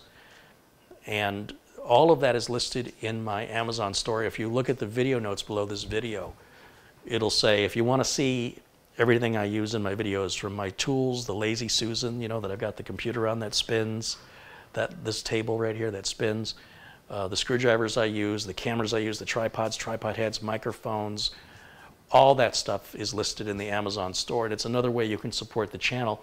If you click on that link that takes you to my Amazon store and you make any purchase at all, not just of the things on my Amazon store, say you use the search in Amazon to find something else you wanted to buy, but it was my link that took you to Amazon, I make a small commission off of whatever you buy. And those add up, whether you're buying something inexpensive or expensive. It doesn't change your price or your delivery or anything for you, but it gives me a small commission. And if everybody used it for making your regular purchases you make from Amazon anyway, it doesn't cost you anything and it benefits the channel. It's a great way to show support. And it's something I failed to mention earlier when I was talking about the different ways to support the channel. Uh, that's a great way. You know, and certainly if you're buying a laptop or you're, you're spending over $1,000 at Amazon, the commission on that is definitely worth having. Different items have different levels of commission, so it's not like all items have the same rate uh, of a certain value. but I can tell you that whatever the commission is on a thousand is more than the commission on 10, $10. So um, it's just another way to support the channel for things you're doing anyway. So once again, I'm just going to grab the GeForce drivers real quick here. We're going to put those on. We have the GTX 16 series, and it's not a 1660 Ti, but it doesn't change anything, so we're still getting the same exact file. And we'll save that. We should have it relatively quickly here.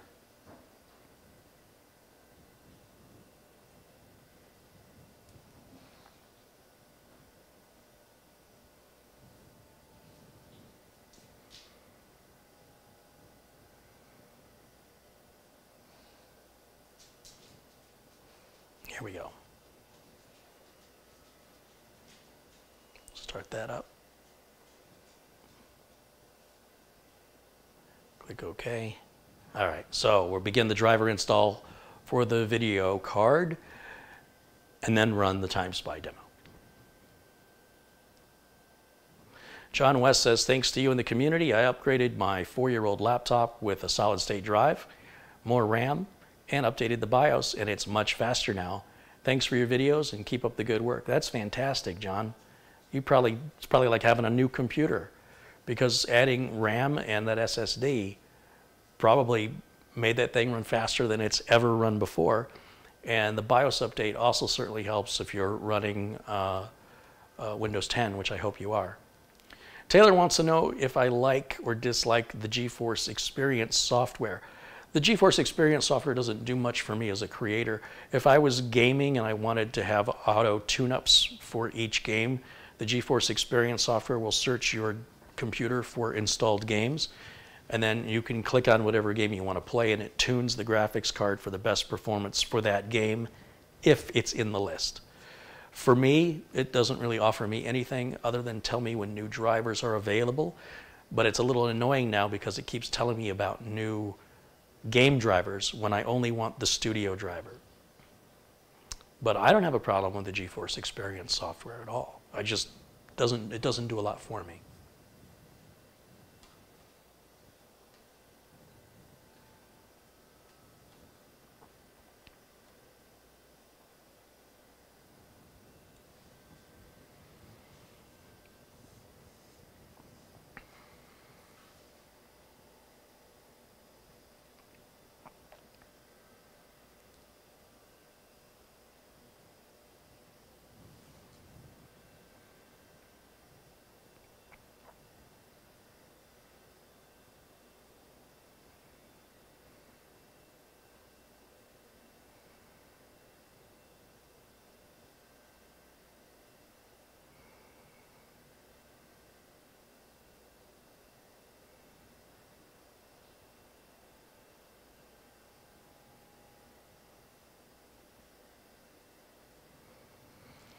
John wants to know, does it matter which vintage chipset you are using in order to update the driver? You should always download the driver that's designed for your chipset.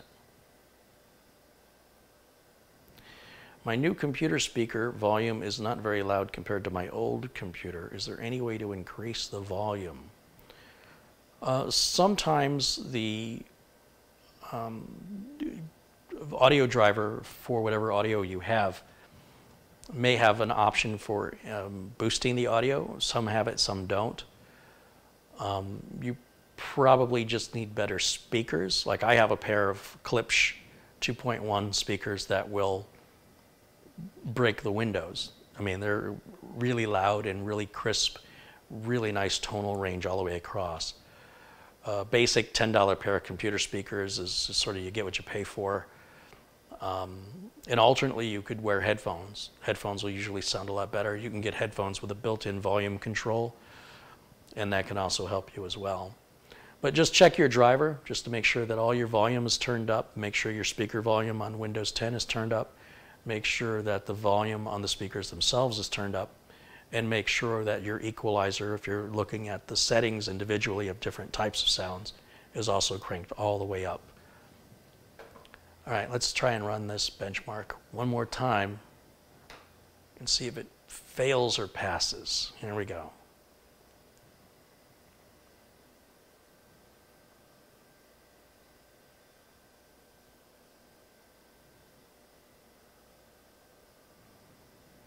Oh, I got to get the updates.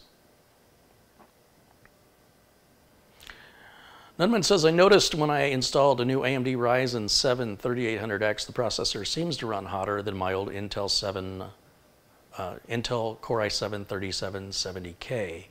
The temps seem more erratic as well. Is this normal? Yeah, uh, it's, as long as it's running within the operational parameters that it was engineered, uh, they are completely uh, a, a complete different design. AMD chips are not designed in the same way as Intel chips, and as such, their temperature range, they do fluctuate more in temperature and they don't get as hot. Their thermal junction is much lower than on Intel chips. So as long as you're in the range though, it really shouldn't matter. Like that, if you're not having blue screens or you're not having issues with the computer, it, the temperature shouldn't be anything you need to be concerned about. Hot or cold, it shouldn't matter. Um, as long as the system's running. If the system's crashing and you're trying to solve a problem, it may not even have anything to do with your temperature. So looking at it prematurely in anticipation of a, of a problem you don't have, I, I find to be unwise. I don't recommend it. So basically, leave it alone unless there's a problem. If, what what's, if what's happening is you're hearing your fans ramp up and slow down and ramp up and slow down, then it might help to invest in a better cooler. It's possible you didn't install your cooler properly. It's possible you didn't use enough or you used too much thermal compound. There's a lot of possibilities where that wouldn't be normal, but based on the information you've given me, I don't see any reason to investigate it any further unless you're having a problem. So we're going to try this, see if it crashes now. If it works okay, that means that the RAM was incompatible. Not that the RAM is bad, and I want to be very clear on that. This same RAM will probably run fine in another system, uh, e even potentially another AMD system, a different motherboard perhaps, even from the same manufacturer. It's entirely possible. So I might just do a trade with the customer, and I want to make sure the customer gets a like a two terabyte NVMe Intel drive, and that's how I intend to ship the system back and they should be ecstatic because remember they've never been able to use the computer. They they built it and they they purchased all the parts they carefully selected their parts and they've not been able to use it to game which is what they want to do. They want to game. They want to get to their gaming.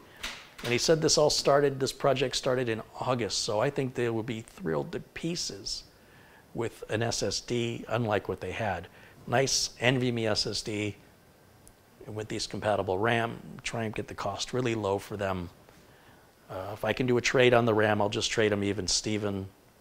If we're going 16 to 16, I didn't even check. Did I go to 32 on this RAM?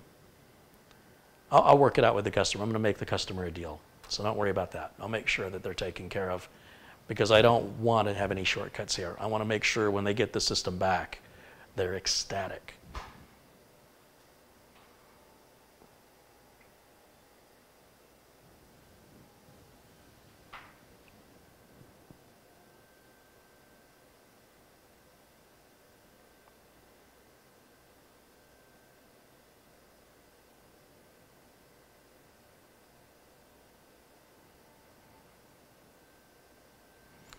Brian says, I've heard that I need SATA SSD with DRAM for large transfers, which is best price performance.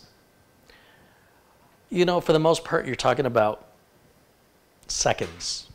And if you're transferring large files constantly uh, to a solid state drive, and by large files, I'm, I'm talking like 10 gigs or larger on a regular basis, uh, there may be some cause for concern there with regards to performance. But otherwise, it's really just a matter of seconds. And I'm not sure going through the effort of uh, going down to the millisecond to your purchase to value uh, consideration is, is, is not a huge investment of time, far more than you will save, uh, depending on um, exactly how many files you're transferring and how often.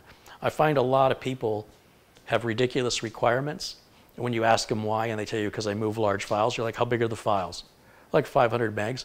That's not a big file. How often are you moving them? Oh, like twice a week? Yeah, that's not often enough. The savings that you're going to get is seconds, and the price difference is dollars. I don't think that type of analysis is justifiable for 98% of the population.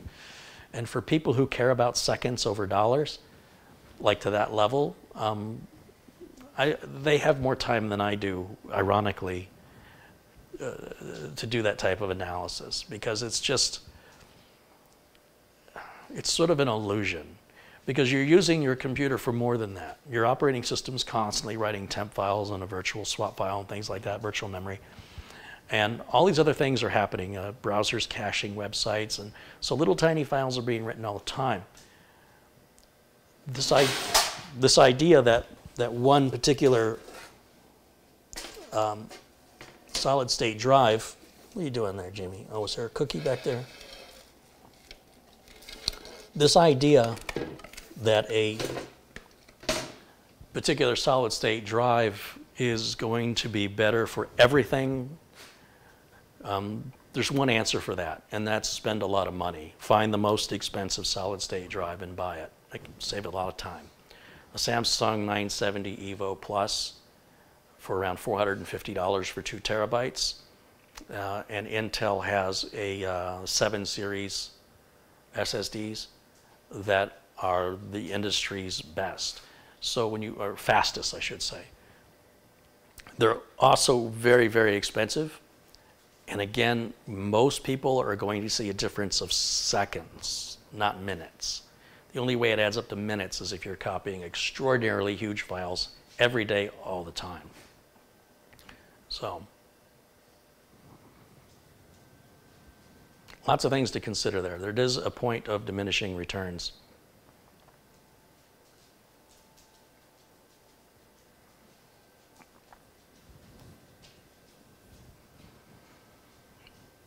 Benchmarks uh, off and running now, so let's see what happens here this time.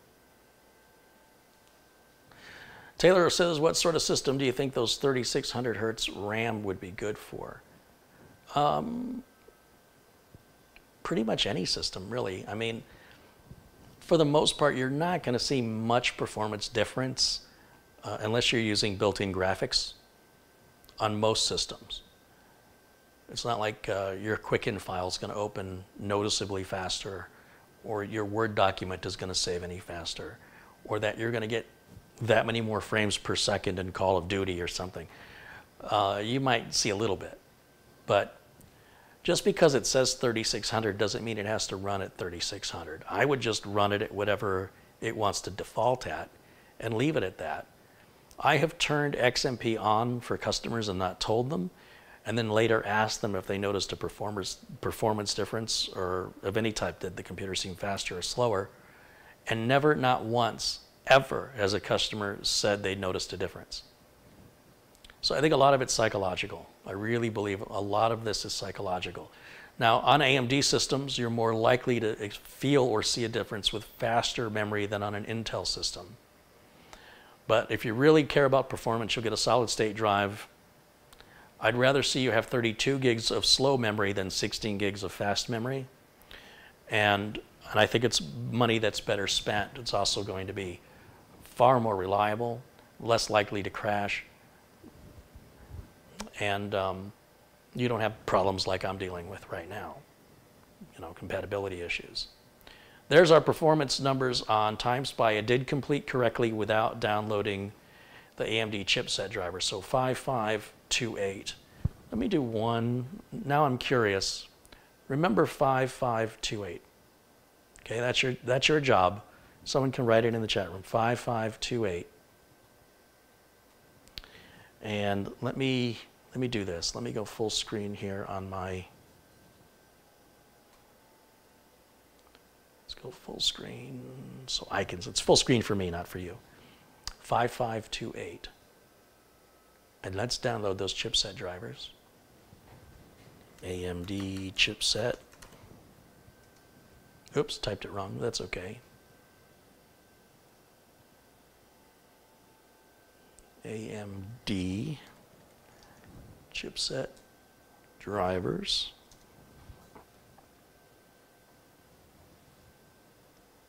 And chipsets, socket AM4. I don't know, is this, it doesn't matter, it's the same thing as X370, X470. This is an X470, but you'll see I'm gonna get the exact same file no matter what I pick here. You'll see they offer a Windows 7 version, on, which they don't offer on the X570, which I think is interesting, since it's the same driver. I don't know. Maybe because it's PCIe 4 and that has something to do with it. So once again, we'll download that. and then as soon as this is done, I will open the folder. Again, I don't have to extract it. I can just run it because it's an extracting file. And it will extract its contents into a folder. We can close these windows to keep us from being distracted.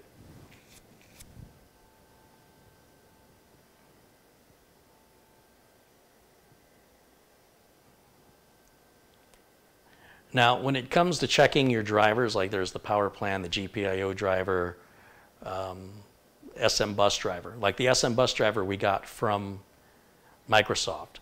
So if I were to go, let's see, if I right click on the start button and go to uh, device manager, we can look at system devices. We should have like the GPI, GPIO controller. This is version 2010. Uh, this is a completely different driver, but you look at the date, September 29th, and this date is the 3rd of March 2020. Uh, SM Bus, if we look what we got from Microsoft, is from 118, uh, the 18th of January 2015, driver version 5.12. And the SM Bus driver here is 512038. This is 512031. Not a huge difference as far as the numbers go, but that's one way you can check manually to see which uh, drivers versions that you currently have, if you have them at all.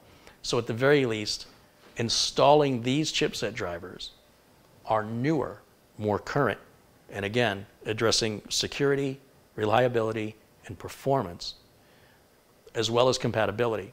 So we're going to go ahead and let those install. We're going to reboot, and then we're going to run TimeSpy one more time and see if we get a number similar to 5528 or very different. What would be a bigger number, lower number? Truth is, we can run TimeSpy three times in a row and get three completely different numbers each time we run it.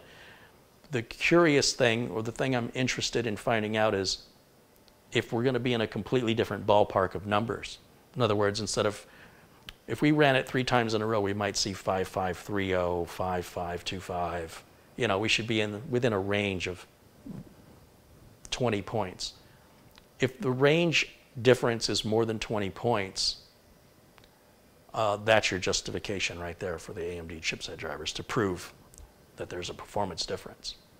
So, because this is live and unscripted and I have no idea what's going to happen, I can only tell you that's the theory behind it, that's the logic behind it, and that's what should happen. In theory, if everybody always followed the rules and everything was as it's supposed to be, then we would see uh, a marked improvement.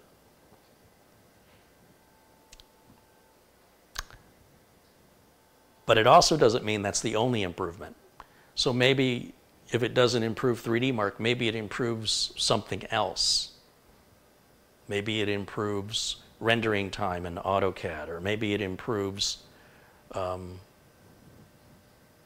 the amount of time it takes Photoshop to do layering. There could be other improvements. Just running one piece of software is by no means an end all be all that this will work better for everybody. In other words, it, whether this has the same numbers or it's 20% faster, it's only to this particular application. Another application potentially could be slightly slower, not likely, um, or it may make no noticeable difference whatsoever. But you still have the security concerns, right? So it's always best to have those latest chipset drivers, if for no other reason than it's certainly more secure. Should also, again, be more reliable, and it should improve performance, but it depends on what we're measuring performance with, what we're using it for. That's a, a big variable. So this is our last test, and after this, we're going to wrap things up. So I want to, while this is running, I want to give a shout out and a thank you to everybody who's contributed during uh, today's live stream. So Madi Yoel, Eduardo Turan, Richard Angeline, Thomas, Donna Hall, Madi Yoel again, Thomas, Robert Rakovic, Reverend John O'Toole, John Olson, Radio DX, he's contributed $5, is north of Detroit, Michigan. Right on. W85 contributed uh, twice in a row there. Copwatch Transparency in Virginia. David Gilman. Copwatch Transparency in Virginia again. And David Gilman again. Stealth Mode. Tech 215. David Gilman again. And Copwatch Transparency in Virginia again. Andrew Dorset said, keep up the great work, Uncle Carey. How's the Intel Skull Canyon NUC working? It was having some problems, but I ran the Intel update utility and there were about nine updates and a BIOS update. And once I put all those in, it's been working great again.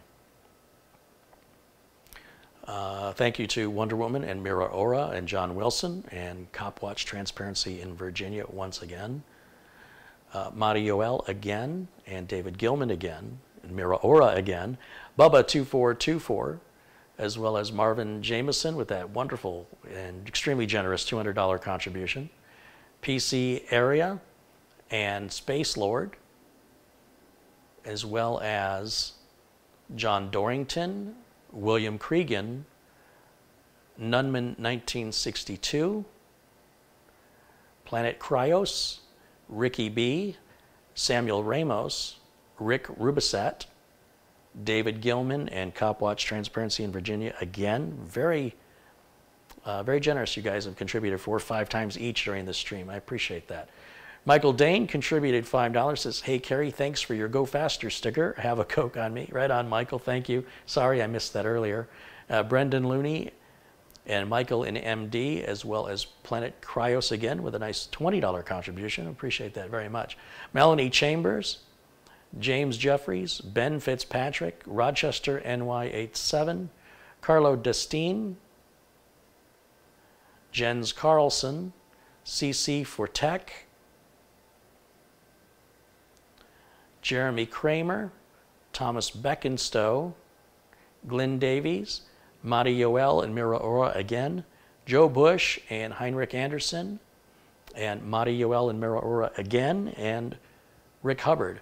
And Mira Ora was the first contributor at uh, 3.34 p.m. with a $5 contribution to the channel. Thank you so much again for all of your support. I appreciate it. I, I love that I don't have to go to sponsors. I love that I have the freedom to do what I want and say what I want and not worry about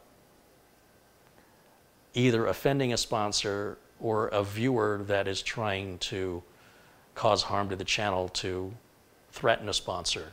You know what I mean? Because that, that, that happens to some people as well. So, um, Daniel says, so chipset and RAM was the answer? No, it appears just the RAM it appears the chipset driver was not causing the crash at all. The RAM was causing the crash, but the chipset driver was still missing, or at least wasn't current. And that helps improve security, reliability, and performance of the machine. I thought it was causing the crash, but it's not, it was just the RAM. The RAM was not, the RAM is good, it's just not compatible.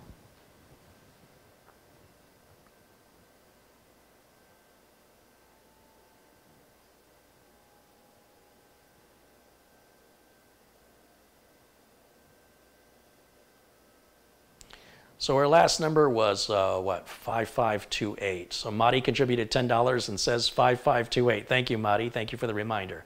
So what we want to know now after installing that chipset driver is what the uh, final number is going to be. If it's going to be 5529 or 5523 or 5535, you know, if we're in the same range, it really didn't make much difference. But if it's at 56 or higher, then that's a, a significant improvement. But remember, that's only on this particular piece of software. So whether or not we see a difference in this software doesn't mean we won't see a difference in any software. And just because if we do see a difference also means we won't necessarily see the same type of performance increase with other unrelated software. So it's all variable, lots of variations. So remember 5528 is the previous results. Gary Tatum contributed $10. He says, great info as usual. Thank you, Gary. And um, I think I got everybody. I think everybody's covered here.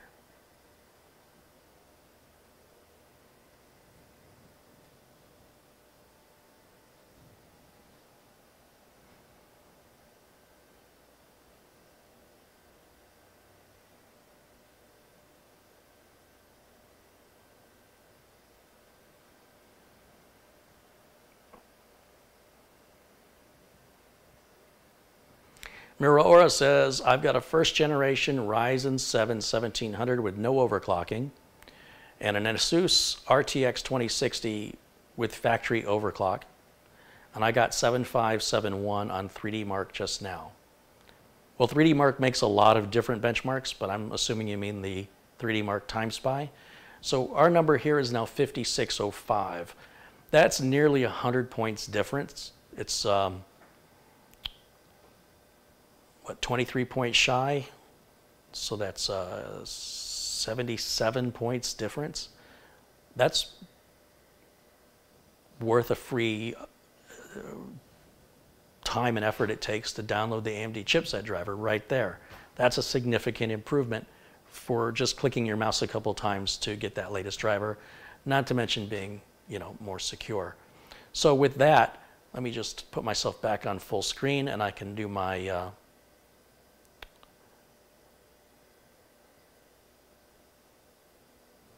my show ending. So my friends in blue, thank you so much for for for being my friends in blue. For everybody who's not yet blue, I, I hope one day I get to make you blue. It's my goal. And for all the contributions that came in today, thank you so much. Thanks for social distancing. I hope I've kept you entertained and opened your opened your mind up to some things to consider if you're an AMD owner. There's certainly no harm. There should not be any harm in grabbing that latest AMD chipset driver regardless and uh, shouldn't trust Windows Update to get that for you, or at least that's true of graphics cards and chipset drivers in general. If you have an Intel system, I would also recommend the Intel Driver Update utility. If you're running a pre-built system, always go to the manufacturer of the pre-built system for your drivers. So for all the contributors, all my friends in blue and everybody who joined us, and especially everybody who participated in the chat room, which is just a fraction of the number of viewers we have. Thank you so much for joining me today. I will be back here uh, as soon as I can. Again, still working on a backup studio, so my time is being stretched thin, but at least I've got this system sorted now. I know what's wrong with it, and then I'll communicate that to the owner. The Amazon shipment for the SSD is not going to be here till the third week of April. so I might have this for a while before I can ship it. But they're going to love this computer when they get it. So I want to thank everybody once more for joining me. That's going to wrap it up for today. I will see you all again very, very soon. Until then, stay safe. Bye for now.